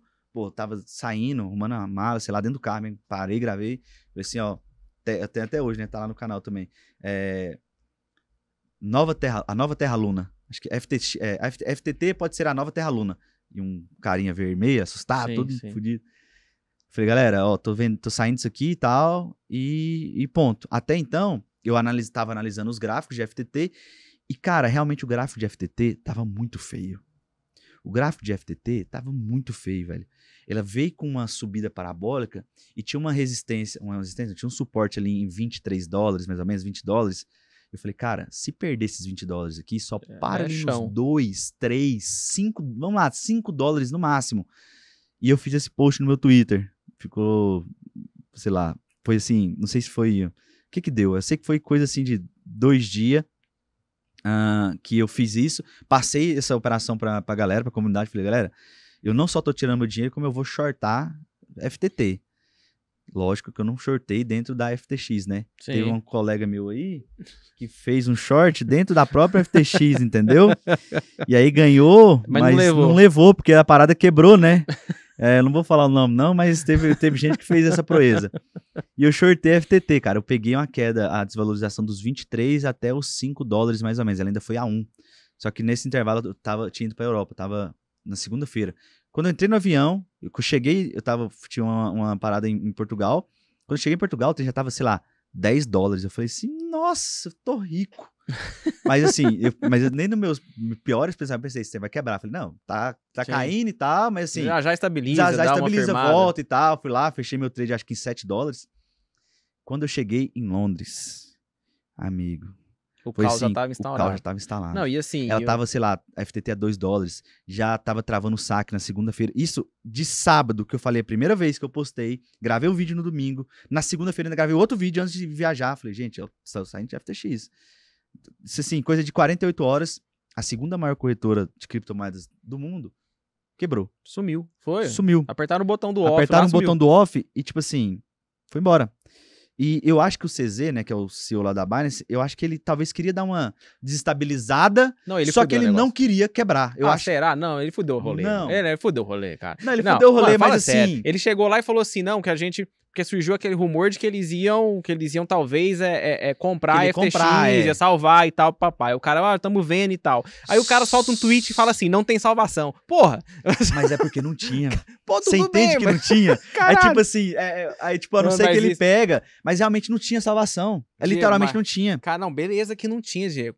Porra, mas assim, É, tu falar poderia ah, ter sido queria, mais. A... não, Não, foi, é, irmão. Esse- poderia. ele já- poderia. Ele já, Eu acho que ele poderia talvez ter sido um pouco mais responsável. responsável também, quando foi talvez no primeiro tweet que ele falou, cara, vamos desinvestir e tal. Ali ele poderia talvez ser um pouco mais cauteloso, porque, cara, um tweet é o suficiente. Ó, o Elon Musk, um tweet do Elon Musk, velho, fez Sim. o Dogecoin sair do Dogecoin pó de viajar. nada pra subir mil por cento de uma semana pra outra. Um tweet do é Cointelegraph fez o Bitcoin subir 10% no dia. Um tweet do, do CZ, né, basicamente, Sim. derrubou a segunda maior. Então, assim, esse é o poder, o poder das redes É, sociais tipo assim, hoje. é, mas, então, tipo Entendeu? assim, não foi o tweet do CZ, mas que foi a pá de cal, foi. É, porque o tweet dele desencadeou Não, a corrida foi- bancária, que esquece. realmente foi o causador Fudeu. da quebra. Fudeu, Ponto, fudeu. entendeu? E assim, mano, vai, vamos lá. O cara já não tinha mais investimento lá na. FTX. E- ou seja, oficialmente concorrentes. Ele era concorrente, só que assim, o que que eu, não, o que que eu penso, né? Que foi talvez, ele, ele talvez ele não imaginava que fosse acontecer, porque, pô, a Binance Como tinha não, 2 cara? bilhões de dólares em tokens FTT. Caralho, mas como é Mesmo pra eles que são multi-mega bilionários, 2 bilhões é Não, mas muita ele já não coisa. tinha saído. Não, eles não tinham vendido. O tweet Será, deles foi. Que não tinha vendido essa porra? Não. Até dá pra, assim, a gente vê as carteiras. Lembra que eu falei que o Bitcoin é, é o único ativo que ele é seu, ele é Sim. inconfiscável. Então, pensando, só que é o seguinte, o você cara consegue não pega- rastrear. O cara não pega o token, por exemplo, transfere pra várias pontas e vende. Galera, vende um As pouquinho aqui, um carteiras pouquinho das corretoras, existe um, tem um programa que dá pra você entrar pra você conferir quais são os saldos de cada criptomoeda que tem nas- naquela, naquela? Sim, carteira. sim. Diferente, por exemplo, da sua conta no Itaú, no banco, no Bank, Sim, sim. Bradesco. Eu só vou Sim. saber do seu saldo se você me falar. Agora, se você me mostrar qual que é a sua carteira, a sua carteira de criptomoedas ali, eu consigo rastrear ela na blockchain e eu consigo saber quais ativos você tem. Ah, você tem um Bitcoin, você tem 10 Ethereum, você tem 100 FTT, por exemplo, que era o token da, da FTX. E dava para rastrear. A, a Binance ainda tinha os tokens, entendeu? Eles tinham os tokens também de Terra Luna, que eles também não venderam. Então, Legal. assim, é, dá pra, é tudo rastrear. A pessoa fala assim: ah, Bitcoin é moeda de terrorista, é moeda de. É o mais transparente. A blockchain é, é o, é o sistema mais transparente do mundo. Entendeu? Não tem como. Se eu te mostrar qual que é a minha carteira aqui, pra sempre você vai ter acesso. Tanto que, bom, hackeou a corretora tal, roubou, sei lá, mil Ethereums, mil Bitcoins. Cara, aquelas carteiras, ela, ela entra ali num, numa lista negra que toda movimentação, ah, mas nós vamos mandar para outra carteira, mandar toda, você consegue rastrear de uma ponta na outra as transações, entendeu? Então, não é moeda de, de gente Sim, errada, sim. entendeu? Eu E o quero caso dizer, da- Pode ser, né? Pode ser, porque Mas, pode ser então, dinheiro mas também pode, né? mas a gente então- vê política aí, pô, com dinheiro na cueca. É, né? então, e assim, nego que paga em reais pra, É. pra um matar o outro. E aí? É, moeda ponto. de bandido? Não, não é, né? Ué, cê- Político que rouba É, nosso é, dinheiro, né? é, Bota dinheiro na cueca é, e mala. Exato. Ouro é moeda de bandido É. também? Não pode ter ouro? É porque tem, Porque- sempre vai ter, né? O que usa, o que usa Lógico, da forma se você errada quiser, e o que ué. não usa. É, lógico. Exatamente. É um discurso tosco. Fácil- tosco. E assim, facilmente É, cai, né? tosco. É um discurso to- tosco pra caralho. Mas então, no caso da FT, da, da Binance, foi isso. Eles, eles tá lá com o saco de merda na Eu- mão eu ainda, eu entendeu? eu eles ainda eu nunca vou Por esquecer isso que eu falo que eles não do- um planejado. Eu nunca vou esquecer daquele post do, do, do, do, do CZ lá. Quando ele Por postou que não tem salvação, eu falei, putz, Não, é. esquece. Agora, tipo, agora, você agora assim, ó, não tem mesmo. Não, não tem. Você perdeu o dinheiro já lá? Você deixou Não. lá? Não, eu tinha DFL, que Ah. tava, que era amiguinha lá da FTX, né? Aham. Os projetinhos Gema lá, um pouquinho Sei. lá que a FTX patrocinava. Aí quando veio esse rolê, falei, esquece. Já Mas se não era, era muita fudeu. coisa, não, né? Não, não era muita não, mas era uma graninha. Mas tinha lá uma Era uma graninha, né? graninha. É, é o tipo de loss que é, que é, que é, É, ruim de você tomar, é porque, tipo tomar. assim, você não tem hold.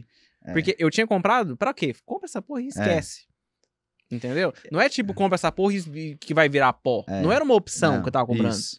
É porque Entendeu? assim, é, é- é tipo, tem o loss e tem o loss, né? O loss, quando você entra numa operação, eu, por o exemplo. ativo sumiu. É, tipo assim, é. Eu entro na operação e falo assim, cara, eu quero ganhar, sei lá, mil dólares, eu vou perder mil dólares, é uma coisa. Agora, você comprar uma parada e ela virar pó porque quebrou a e não tem como você tirar Aí é dinheiro, foda. Aí é outra história, Aí né? é foda. Não foi um movimento de mercado, né? Foi, assim, uma fraude. Sim. Aí a fraude você sente, Sim. você sente dor, né? É, tipo assim, mas aí é que tá. Aí até um ponto que a gente precisa entrar, né? Ah, Que é tipo, cara, quando você vai alocar ali. É. Entendeu? Tudo bem que o último risco que você tá pensando é o negócio sumir. Sumir, tipo, risco. 48 horas, ó, sumiu tudo, esquece, esquece finge que não existiu. É. Entendeu? E- e- essa é a última probabilidade que você tá pensando. Mas você tá pensando na probabilidade da desvalorização, etc. De ficar lá Aham. um bom tempo, inclusive desvalorizado, ou nunca mais, né?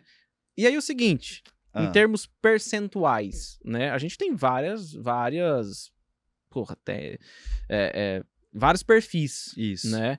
Tem o Diego, por exemplo, que é mais ade é especulador, é Isso. mais adepto ao risco, e ele não se importa de pegar, sei lá, alguma vez ou outra, enfim, você deve ter pego 30, 40, 50% do que você tinha e falou, vou comprar X. Tu, Ixi, Entendeu? Várias vezes. várias vezes. várias vezes. Entende? Agora, quando seu capital é muito grande, por exemplo, se eu virar pra você hoje e falar assim, cara, Bitcoin tá em quanto? 28. Dá all-in aí, 100%. Você É vai falar, tá difícil, doido? né? Você fala, você tá doido? não, difícil. não, não, não, não. Apesar de que eu tenho boa parte, não mas é difícil. É, então. difícil. Exato. Primeiro ponto, Vasco, eu acho que é o seguinte: você tem que entender o seu perfil. Você tem que, você falou certo. Ah, é o básico lá da educação financeira, entender seu perfil de risco, blá blá blá, blá, blá. Só que você tem que falar assim, cara, quanto eu vou investir em cripto? Quanto eu vou investir em ação? Pronto. Quanto que eu vou investir, sei lá, em fundo imobiliário? O dinheiro de cripto você ainda tem que diversificar ele de uma forma diferente, eu ainda acho. Olha lá, cara, 10% aqui do meu portfólio vai ser de criptomoedas. Sim. Desses 10%, desse, desse 10% que a gente vai transformar agora em 100%, o que, que é a minha recomendação poderia ser? A maior parte do seu capital tem que estar em Bitcoin. As pessoas falam, ah, mas Bitcoin já subiu muito, Bitcoin já isso, Bitcoin já aquilo. Cara, Bitcoin pode vir dar uma porrada de 100% assim, num mês, e as pessoas ficar, ah, é, entendeu? Eu não tô falando pra você agora, falar assim, cara, Diego, mas eu não tenho perfil de risco nenhum e tal, meu negócio é mais é, é poupança aqui, é CDB, é não sei o quê. Então, peraí, então esse é o seu perfil? Beleza, não tem problema nenhum. Tem gente que não é. Cripto, eu acho que não é pra todo mundo mesmo. Sim. Às vezes Só que pega lá 1%, então. Aí se você lá, pega põe um o dinheiro na pinga pedacinho lá. que eu acho que deve, todo mundo deve ter, até mesmo por questão de, sei lá, de head de governo, head de país, porque, cara, você tem, sei lá, você tem ação, você tem dinheiro no banco, tá, mas e se, o Brasil virar porra uma Venezuela, velho? Cripto, quem tinha cripto, por exemplo, na Ucrânia? Ah, não, mas a Venezuela não vai virar. É, mas se sai uma guerra igual aconteceu na, na Ucrânia e no- na Rússia. Só te saiu, as pessoas só conseguiram tirar as criptomoedas de dentro do país.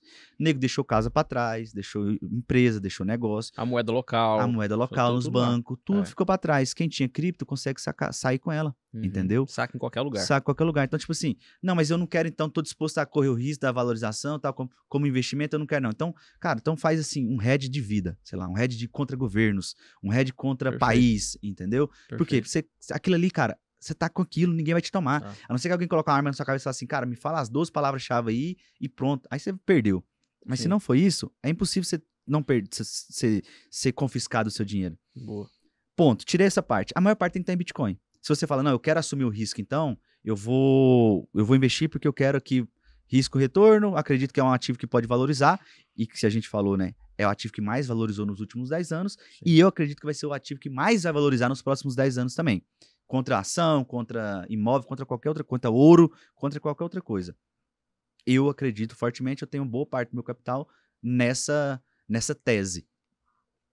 E tirou daí uma boa parte em Bitcoin, você pega ali uma partezinha e você divide ela em altcoins. Sim. Ah, cara, eu vou comprar, sei lá, de repente Ethereum, vou comprar de repente ali BNB, vou comprar de repente ADA. Não sei qual o seu portfólio, não sei qual as criptomoedas que você mais gosta, você mais curte, não tô aqui para fazer recomendação, mas coloca um pouquinho em cada, porque uma moedinha, cara, às vezes ela pode valorizar 10 mil por cento no ano. Sim. E essa pequena quantidade de dinheiro pode transformar uma numa verdadeira bolada. Sim. Entendeu? Então você não precisa colocar muito dinheiro. Não, Diego, mas então me fala aí um que vai subir 10%, eu vou vender minha casa. Não. Hum. Entendeu? Porque se você Não, fizer isso, é às vezes a chance de dar errado é muito maior. É. Entendeu? Então, se você coloca pouco dinheiro, esse trem vai virar uma Até- bola grande. Agora, se você coloca você- muito dinheiro, vai virar uma bolinha Até pequena. não tem nem como você saber, né? Se você soubesse todos que vão virar 10 mil, Ah, ponto. Né? Eu tava trilionário, Não, né? é. Pô, tava, sei lá, tinha comprado Maldivas e tinha mudado pra lá, né? Exatamente. Basicamente. Você chegou a entrar no, no, no- Chegou a pegar algum NFT? Comprei. Só que O que, que você comprou? Eu acho que uma das únicas coisas que eu não consegui ganhar dinheiro na minha vida foi com NFT. Você não ganhou dinheiro com NFT? Eu ganhei dinheiro com opção binária, mas eu não ganhei com NFT. Você pira? É sério. Aí você vê, né? Ok. Cara, pra você ver como é que é as coisas. Eu falo assim, cara, você conseguiu ganhar dinheiro com opção binária, mas você não conseguiu ganhar dinheiro com NFT? NFT não. Eu comprei e tal, como especulação também. Acho a tecnologia interessante, mas assim, especulando aquilo você ali chegou e tal. o quê? O que que É, você uns, comprou? uns macaquinhos, que trem, Você comprou... Não tem hoje, o NFT ainda não tem uma utilidade muito grande. Sim, mas você comprou os, os, os mutantes Os ou Bored os? Ape? Não, eu, eu comprei um mutantezinho lá por 15 etéreos, eu acho. Depois eu comprei um monte pequenininho também, né? Só Tá. que esse até não perdi não, vendi. Mas Vendi você não dinheiro com essa porra por quê? Porque você, você viu subir, depois devolveu, você acabou que não, não, não, não realizou? Não, Ou não. não subiu? Você comprou topo? Não, tipo assim, não foi esse.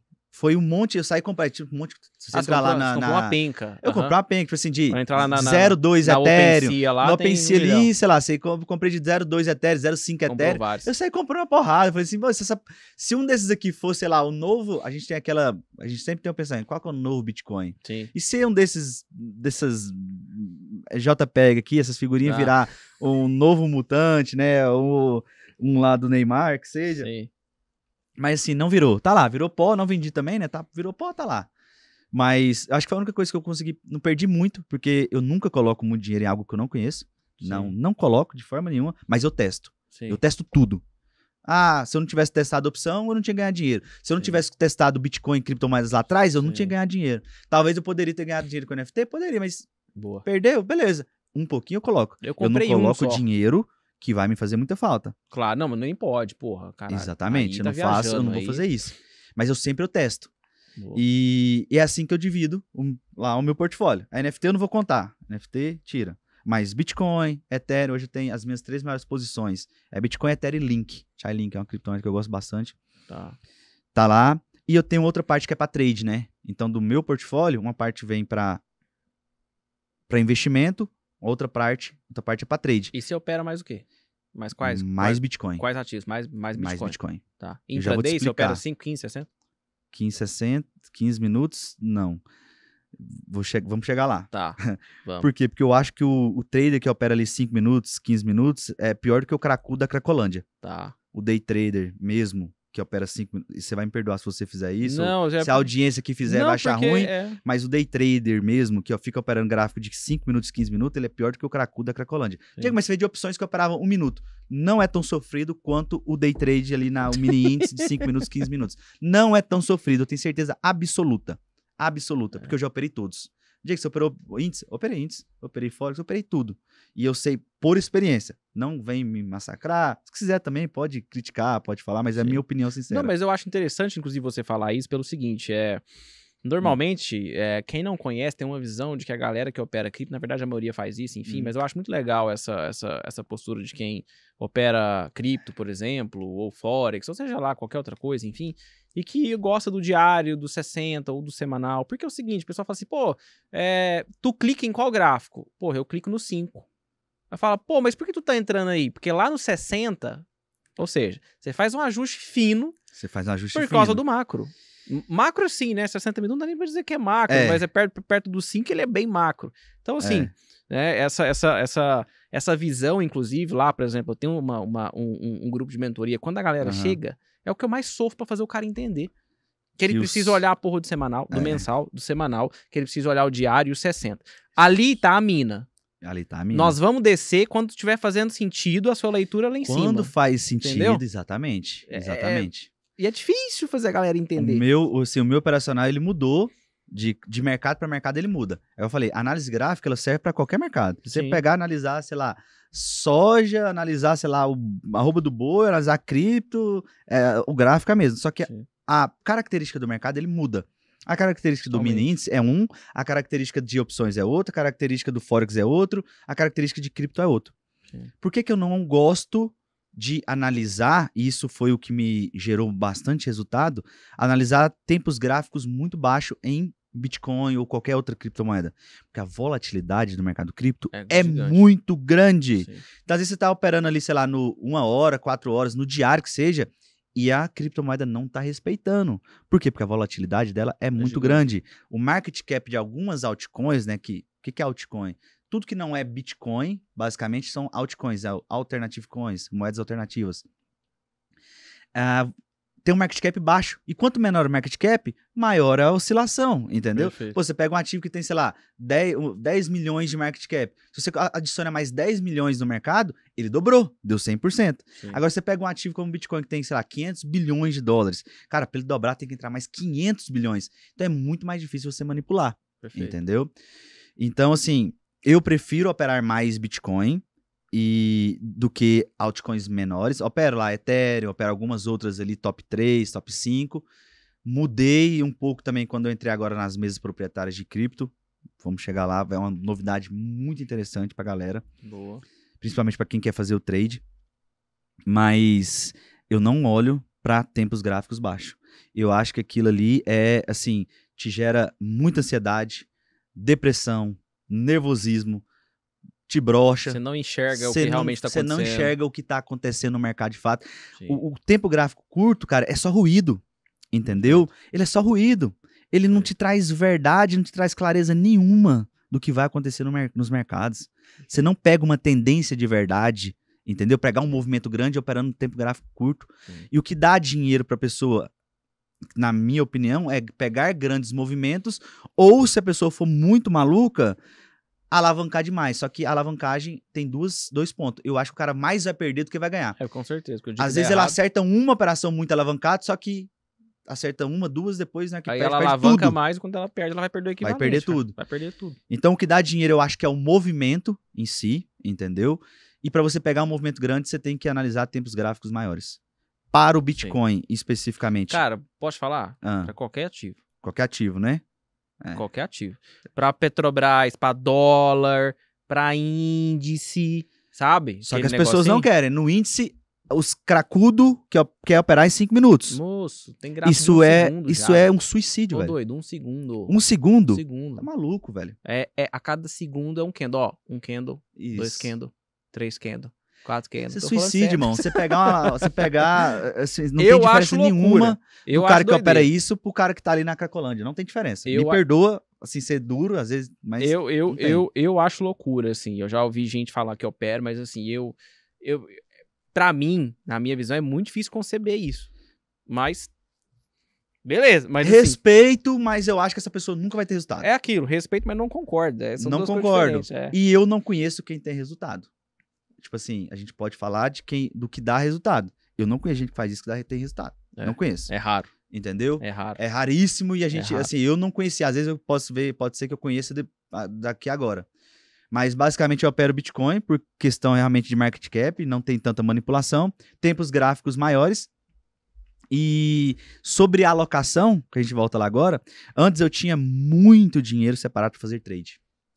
Tipo assim, sei lá, metade do meu portfólio era de longo prazo, metade era de curto prazo, de trade. Existe uma diferença entre o investidor e o trader. Que isso, Diego? Mas de investidor e o trader não é a mesma coisa, não?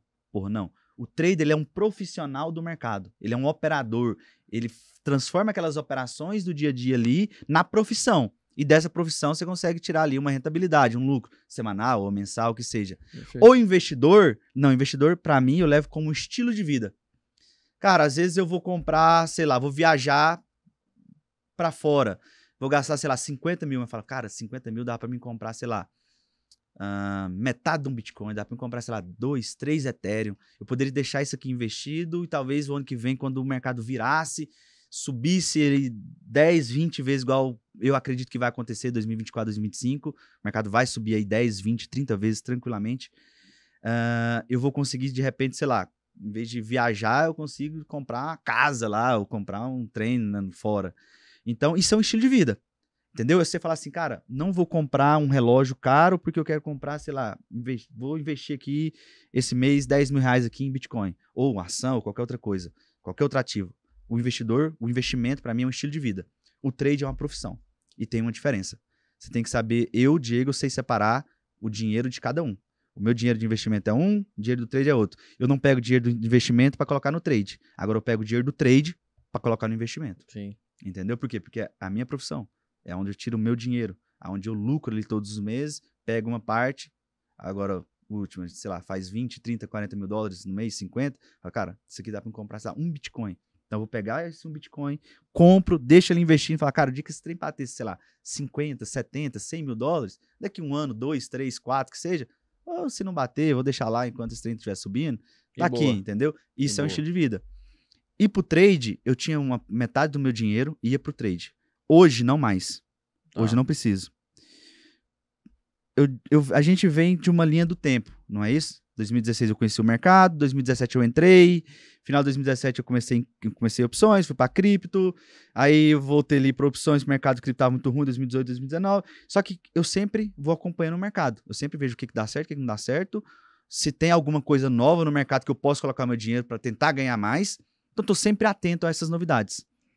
E esse ano em específico, surgiu algo muito interessante, que eu conheci, inclusive, eu, eu também tenho que agradecer muito a Deus, né? Porque as coisas geralmente caem, aparecem para mim. Tem gente que vai atrás a vida inteira de um negócio, de alguma coisa, de uma ideia, e nunca tem uma ideia de montar nada, de ter um negócio, nunca teve, Sim. sei lá, nunca conseguiu desenvolver uma estratégia. E graças a Deus as coisas apareceram para mim. Quando eu conheci o mercado, foi através de um amigo lá no interior do Goiás, que me apresentou, falou, cara, isso aqui tá dando grana, vamos mexer com isso aqui, vamos. Aí eu conheci cripto também através de um amigo, falei, cara, meu esforço, né, claro, porque sem esforço também é difícil, mas Deus coloca as pessoas, às vezes, no lugar para me apresentar as coisas e eu, como Deus também me permite, ter força de vontade, inteligência para ir atrás e falar, cara, faz sentido. E eu conheci essa- as mesas proprietárias, agora tem quatro, quatro, cinco meses mais ou menos, através do Rafa, que é o meu amigo, meu irmão mesmo, Sim. que até veio aqui, né? Tem um podcast dele. Veio. E, e eu já conhecia a mesa proprietária. Sim. Pra Forex, Mas cara, não de cripto, né? não de cripto, mas pra Forex sempre teve. A vida inteira teve essas mesas de tal de, de mesa proprietária pra para criptomoedas. E o que que é mesa proprietária? Só pra explicar, às vezes a galera não vai não vai Claro, conseguir claro. identificar, Claro. saber. Mesa proprietária nada mais é do que uma instituição ali, uma empresa que pega o dinheiro de investidores, coloca, investe em bons traders, disponibiliza o dinheiro para bons traders rentabilizar esse dinheiro. Porra, aqui no Brasil a gente tem- sempre tem, né, juro sempre alto, essas coisas. Sim. Agora, imagina o europeu, o americano, que, pô, a- o europeu americano, cara, é 60% da população em renda fixa. Em renda- desculpa, em renda variável, entendeu? Os caras têm que colocar o dinheiro no risco. Então, essas empresas, eu acho que, que, que realmente faz. Começou a, a proliferar isso. Por quê? Porque os caras querem alguma forma de multiplicar o capital deles, entendeu? Sim. sim. E aí eu conheci as mesas proprietárias, né? E eu falei assim, cara, isso aqui é uma ideia fantástica. Peraí, eu posso vir aqui, fazer um teste, porra, gasto, sei lá, 170 dólares para pegar a melhor mesa proprietária que tem hoje no mercado, uma europeia. Eu pago 170 dólares num teste para operar uma conta de 10 mil dólares. Então, tipo assim, qual que é o meu risco? O meu risco total é 170 dólares. Se eu passar no teste, que na primeira fase eu preciso fazer 10% e na segunda fase eu preciso fazer 5%. Então eu preciso provar que eu sou um bom trader, que eu consigo rentabilizar o capital que eles me disponibilizam. Então eles me dão lá uma conta de simulação, Passei na, na fase 1, recebo uma nova conta. Para a fase 2, fiz ali 15% nas duas fases, eu recebo 10 mil dólares para poder operar. Esses 10 mil dólares é meu? Diego, você transformou 170 dólares em 10 mil dólares. Transformei. Mas esses 10 mil dólares, ele não é meu. Sim. Eu tenho ele como margem disponível para me realizar operações e, através desse dinheiro, toda, toda operação que eu fizer que for lucrativa, no- até 90% volta para mim. Então é basicamente assim: eu sou sócio de uma empresa, aonde a empresa entra com o dinheiro, entra com o dinheiro para me operar. Toda operação que eu faço, 90% vem para mim, 10% volta para a empresa. Diego, mas aí é perigoso, você pode perder esses 10 mil dólares? Não. Então tem risco. Você tem que gerenciar os riscos. A única Claro. coisa que eles querem que você faça é o quê? Gerenciar bem os riscos. Quanto essa empresa. Essa empresa é boazinha, tá te dando dinheiro pra você operar. Não. Eu não posso perder os 10 mil dólares, eu posso perder até 10%. Uhum. Então eles me dão 10, 10 mil dólares. Se eu perder mil dólares, fala assim, cara, você tá eliminado, você não é bom, a gente não te quer aqui na nossa mesa. Você é bom, passou, cara, você fez lá dos 10 mil dólares, você fez mil, dois mil, três mil, 10 mil dólares, você dobrou, cara, até 90% volta pro seu bolso. Perfeito. Então, assim, cara, é sensacional. Diego, mas 10 mil dólares é, pra mim, pro meu nível, hoje, quando eu comecei, lógico, eu comecei com muito menos do que isso. Mas hoje, 10 mil dólares não faz sentido. Só que as mesas disponibilizam pra você até uma delas, né, que é a melhor que eu tenho hoje, que eu tenho já até as minhas contas lá, disponibiliza até 400 mil dólares. Perfeito. Então, qual é a minha conta? Eu tenho 400 mil dólares disponível para me operar e eu precisei de gastar 10 mil reais nos dois testes. Então, eu peguei duas contas de 200 mil dólares, passei nas duas contas, fiz lá 15% numa, passei, recebi a conta real, fiz mais 15% na outra conta, passei recebi a conta real. Junto elas, então, tem 400 mil dólares. Só que, junto com elas, eu tenho uma alavancagem que eles também disponibilizam de 3,3 ou s- 3,33, ou seja, esses 400 mil dólares vira até 1 milhão e 320 mil dólares. 1 milhão e 320 mil dólares já é uma quantia extremamente, extremamente assim, boa e razoável para fazer os meus trades, principalmente porque não é o meu dinheiro. Diego, eles vão deixar você perder 1 milhão e 320? Lógico que não. Entendeu? Eu posso perder até 10%. Então, Sim. desses 400 mil dólares ali, o meu risco máximo é de 40 mil dólares. Perfeito. Ponto. E eu investi quanto? Eu investi lá 10, 12 mil reais nos dois testes pra mostrar pra mesa que eu sou capaz, pra eles também não perder o tempo deles, entendeu? Filtrar quem é bom e quem não é bom. Lógico, Claro. Então, claro. assim, isso, cara, mudou o game. E dos últimos cinco meses pra cá, cara, eu tô muito hypado nisso. Por quê? Porque, cara, muda o jogo de qualquer pessoa.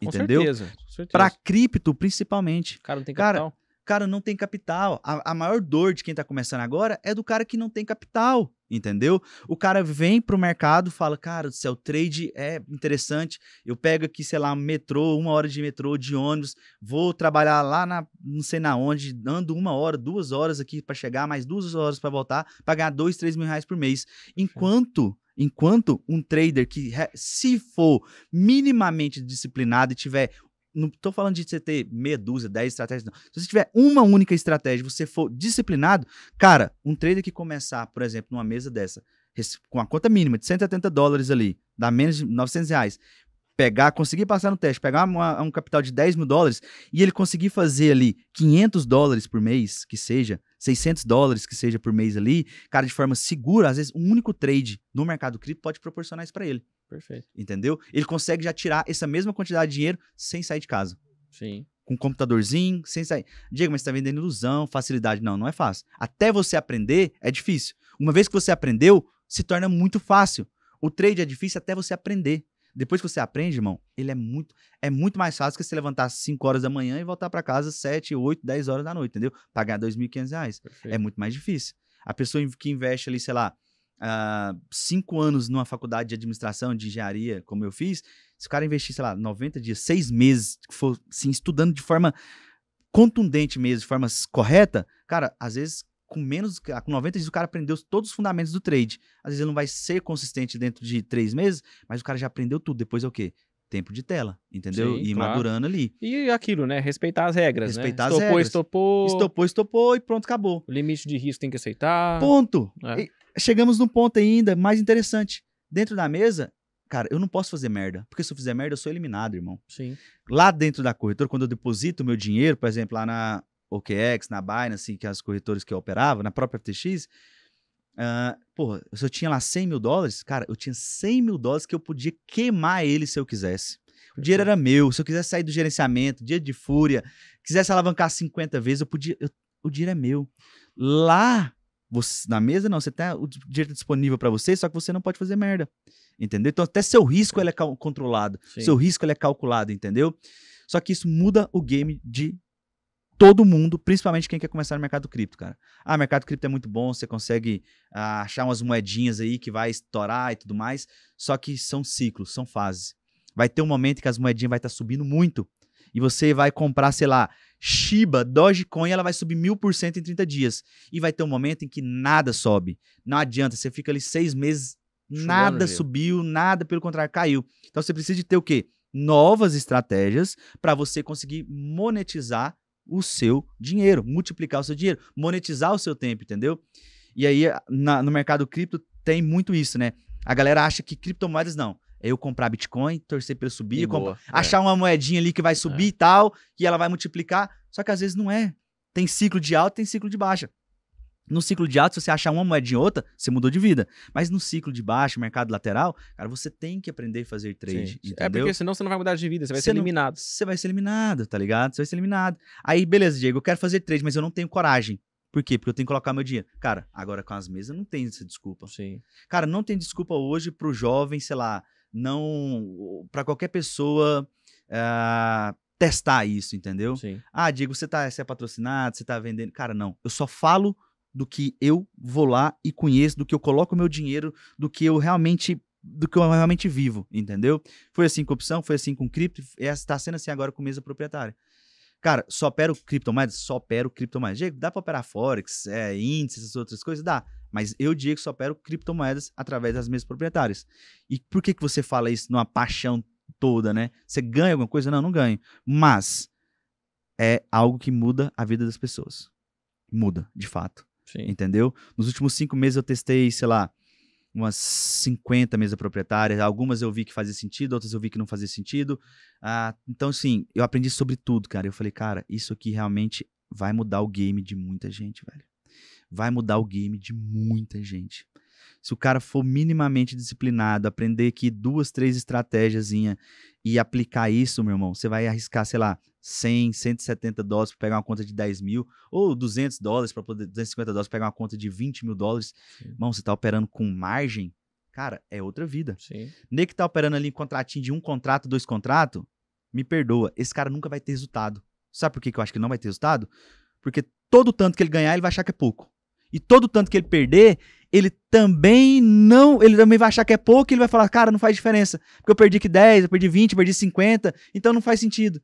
E se ele ganhar 10, ganhar 50, ganhar 100, ele fala assim, não, mas também não, tô vendo o cara ganhar mil, entendeu? É pouco. Pra- é. Tudo é pouco. É. Só que aí esse cara nunca vai mudar o game dele, nunca vai Sim. mudar o jogo, entendeu? Sim. Então, assim, ah, tô ganhando, tô ganhando, mas não é o suficiente. Tô perdendo, tô perdendo, mas também não é algo que vai me machucar. O cara nunca muda o jogo. Agora, quando você tem margem, é outra história.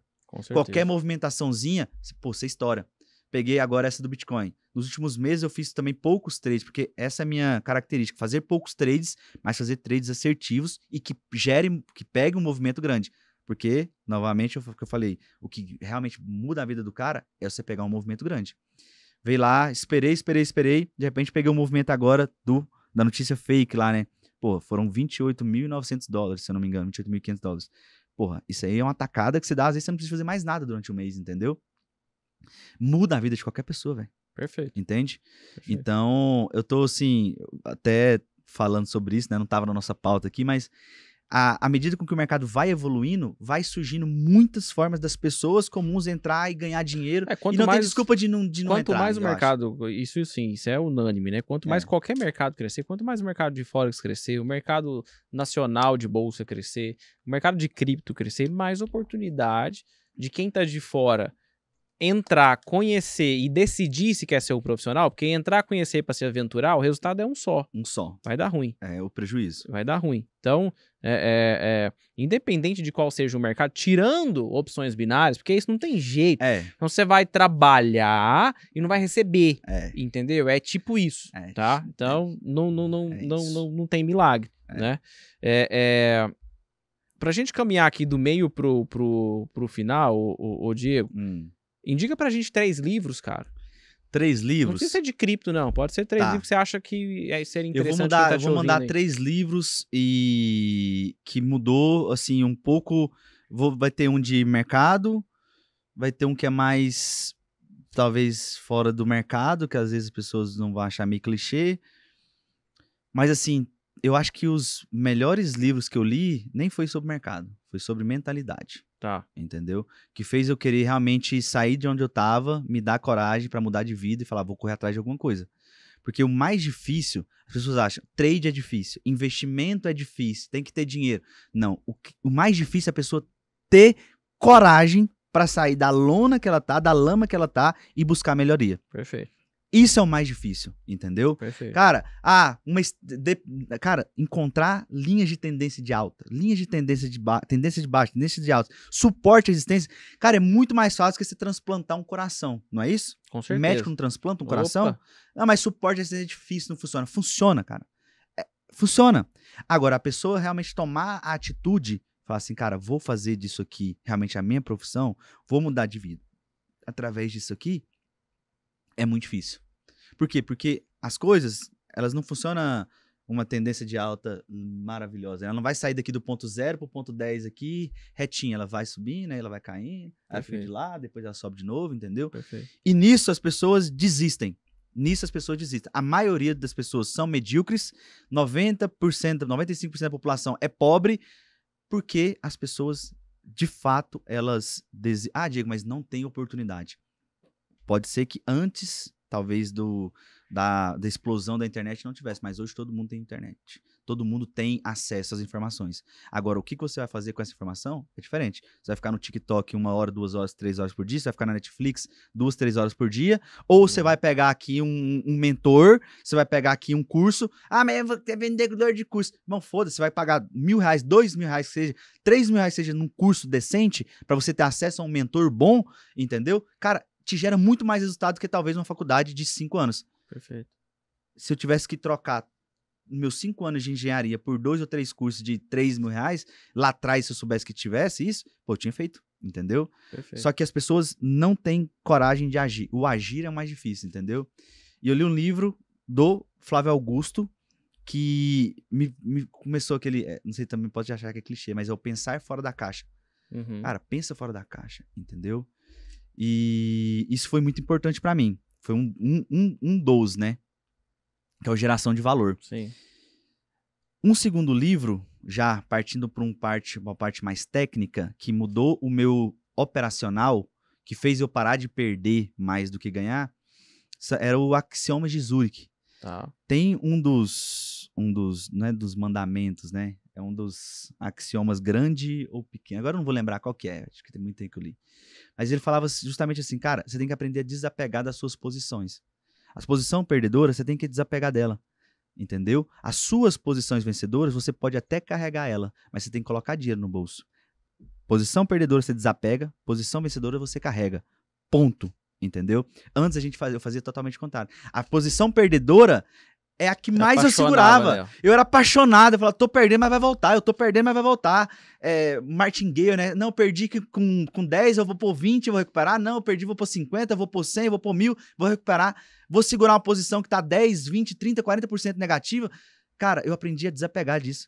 Eu comprei uma criptomoeda, ela pode cair, sei lá, 20, 30%. Eu falo, irmão, se não faz mais funda, não faz mais sentido, Tchau. tchau. Eu vou entrar no trade, irmão, eu vou entrar pra ganhar 10 ou eu vou perder 10 e acabou. Posição perdedora, você não precisa de recuperar o dinheiro dela na mesma posição, na mesma ação, na mesma Recupera em criptomoeda. outra, é. Você parte pra outra. Ah, outra ação, outra criptomoeda, ou um outro trade. Cara, ponto. Ou então você vai ver o seu dinheiro desvalorizar, desvalorizar, desvalorizar, desvalorizar. Imagina quem comprou, sei lá, ah, Magazine Luiza no topo. Então, não sei o que, tá caindo, tá caindo, tá caindo, desapegou. Irmão, chega um monte, você tem que desapegar. Já era. Entendeu? É, sim. Ah, você tem, tem um monte de criptomoeda, sei lá, Terra Luna. Imagina quem tá comprando, mas tá caindo, tá caindo. Irmão, desapega disso, deixa isso embora. Sim. Entendeu? E vários ativos vai acontecer isso. Eu tenho certeza absoluta que vai acontecer com mais ativos, com mais criptomoedas, só que você tem que aprender a desapegar. E foi uma lição que eu aprendi no livro Axiomas de Zurich. Tá. Os investidores de longo prazo não gostam muito desse livro, né? Ah, mas, mas- Mas assim, é. perfil e perfis, Sim, né? Então, tanto faz. Terceiro livro é, eu acho que o brasileiro médio precisa. É sobre educação financeira E eu acho que todos têm que ler ele. É um livro muito simples, é muito fácil de você entender as lições que tem ali, que é O Homem Mais Rico da Babilônia. Boa. Que é para os brasileiros não perder dinheiro em joguinho do tigre, foguetim, opção binária, pirâmide, é, golpe do Pix do Urubu. Se você ler esse livro, acho que 99% dos golpes você pode ser eliminado da sua vida se você ler esse livro, entendeu? Lá fala exatamente assim: não coloque o seu dinheiro na mão das pessoas que você não conhece. Gerencie o seu próprio dinheiro, entendeu? Perfeito. Não dê o seu dinheiro para as pessoas. Eles falam até, tem uma lição, né? Que o pessoal pegava o dinheiro da- de outras pessoas lá da vila, ia lá comprar ah, joias e bijuterias em outros lugares, trazia. E num dia um cara deu um prejuízo em todo mundo e tudo mais, e que isso é corriqueiro, vai acontecer. E no, no Brasil é isso, cara. Acho que são esses três, geração de valor, Axiomas de Zurich e o Homem Mais Rico da Babilônia. Acho Boa. que é uma- um trio bom. Ô, Diego, quem não te conhece, te acha onde? Qual que é o seu, seu contato? Onde, Cara, onde meu te acha? Instagram, YouTube? O meu Instagram, arroba Diego Bruno RF. Então, lá tem, tem bastante conteúdo lá, inclusive. Tem o canal também no YouTube.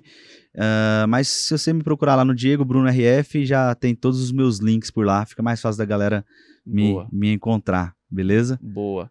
Cara, muito provavelmente a gente vai, deve fazer uma parte 2 eventualmente aí. Na verdade, se o Diego aceitar, a gente faz uma parte 2, porque esse sistema de cripto, primeiro, tem pouca gente que sabe.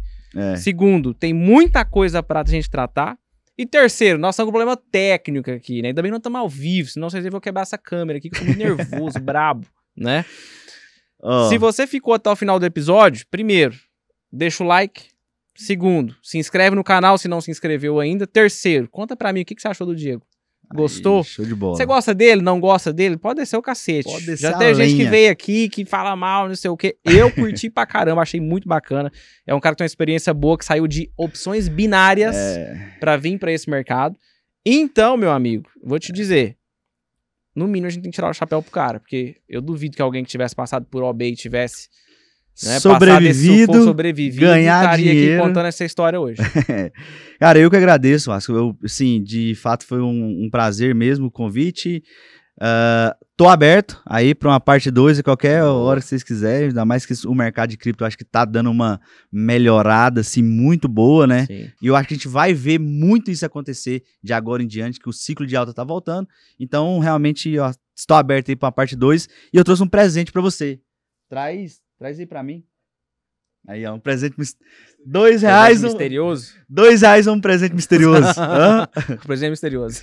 Ó, essa aqui é uma é um Cold? Wallet. Achei que era um perfume. Não, não é perfume, não. Isso aqui é uma Cold Wallet. Tá. É, é uma, uma carteira de criptomoedas. Legal. Beleza? Eu tenho uma Trezor. Você tem uma Trezor? Tem. Bom, bom, boa, boa também. Essa Mas- aqui é a SafePal, eu gosto dela porque eu coloco assim, todo quanto é altcoin que você pensar, sabe aquela que você deixou lá na FTX que quebrou? Tá. Essa aqui eu tenho certeza que aceitaria. A Trezor não, com certeza não, porque ela Tá. é mais limitada a quantidade Aham. de criptomoedas. Essa aqui aceita praticamente todas as 20 mil criptomoedas que tem, beleza? E e eu trouxe pra você, se você tem certeza que você vai investir né, em cripto ainda. Não, Você não vai deixar os pesar, os passados aí influenciar na sua decisão. Tá aqui então, Code Wallet. Se você Valeu, precisar, depois você você tem meu WhatsApp. vou- Boa. ensino você a configurar. Boa. Coloca todas as suas criptomoedas que você investir aqui, porque Boa. depois não tem perigo de nada quebrar, Fechou. governo confiscar, nada, nada, nada, Boa. nada. Essa- com essa Code Wallet você vai ver que a criptomoeda ela é sua. Boa. Fechou? Top, viu, gente? Safe Paul, né? SafePal. É. Boa. Eu tenho uma Trezor, mas, enfim, ela realmente ela, ela, ela não aceita os, Não, não os aceita. 999 mil ativos que existem na não, não. cripto, não. Essa aí aceita, você vai ver que você nunca mais Boa. vai deixar moedinha na corretora e ter perigo de acontecer o que aconteceu com o FTX. Boa, boa. Aí, ó. Fechou? Eventuais convidados, ouvintes, inclusive, manda presente, cara. Nós gosta de recebidos, viu? Aí, Nós gente, faz ó. um jabá aqui, inclusive. cara, obrigado, viu? Valeu, Vasco. Obrigado, viu? Tamo junto. Brigadão. Juízo, viu? Que isso. Vê, vê se, vê se, mais tem é juízo. vê se, vê se controla lá os caras da, da, da, da, da- das cripto lá, porque a galera A anda, galera, anda, anda feroz, né? a galera de cripto e mexe, ela dá um. aparece um ou outro desa- desajeitado por aí.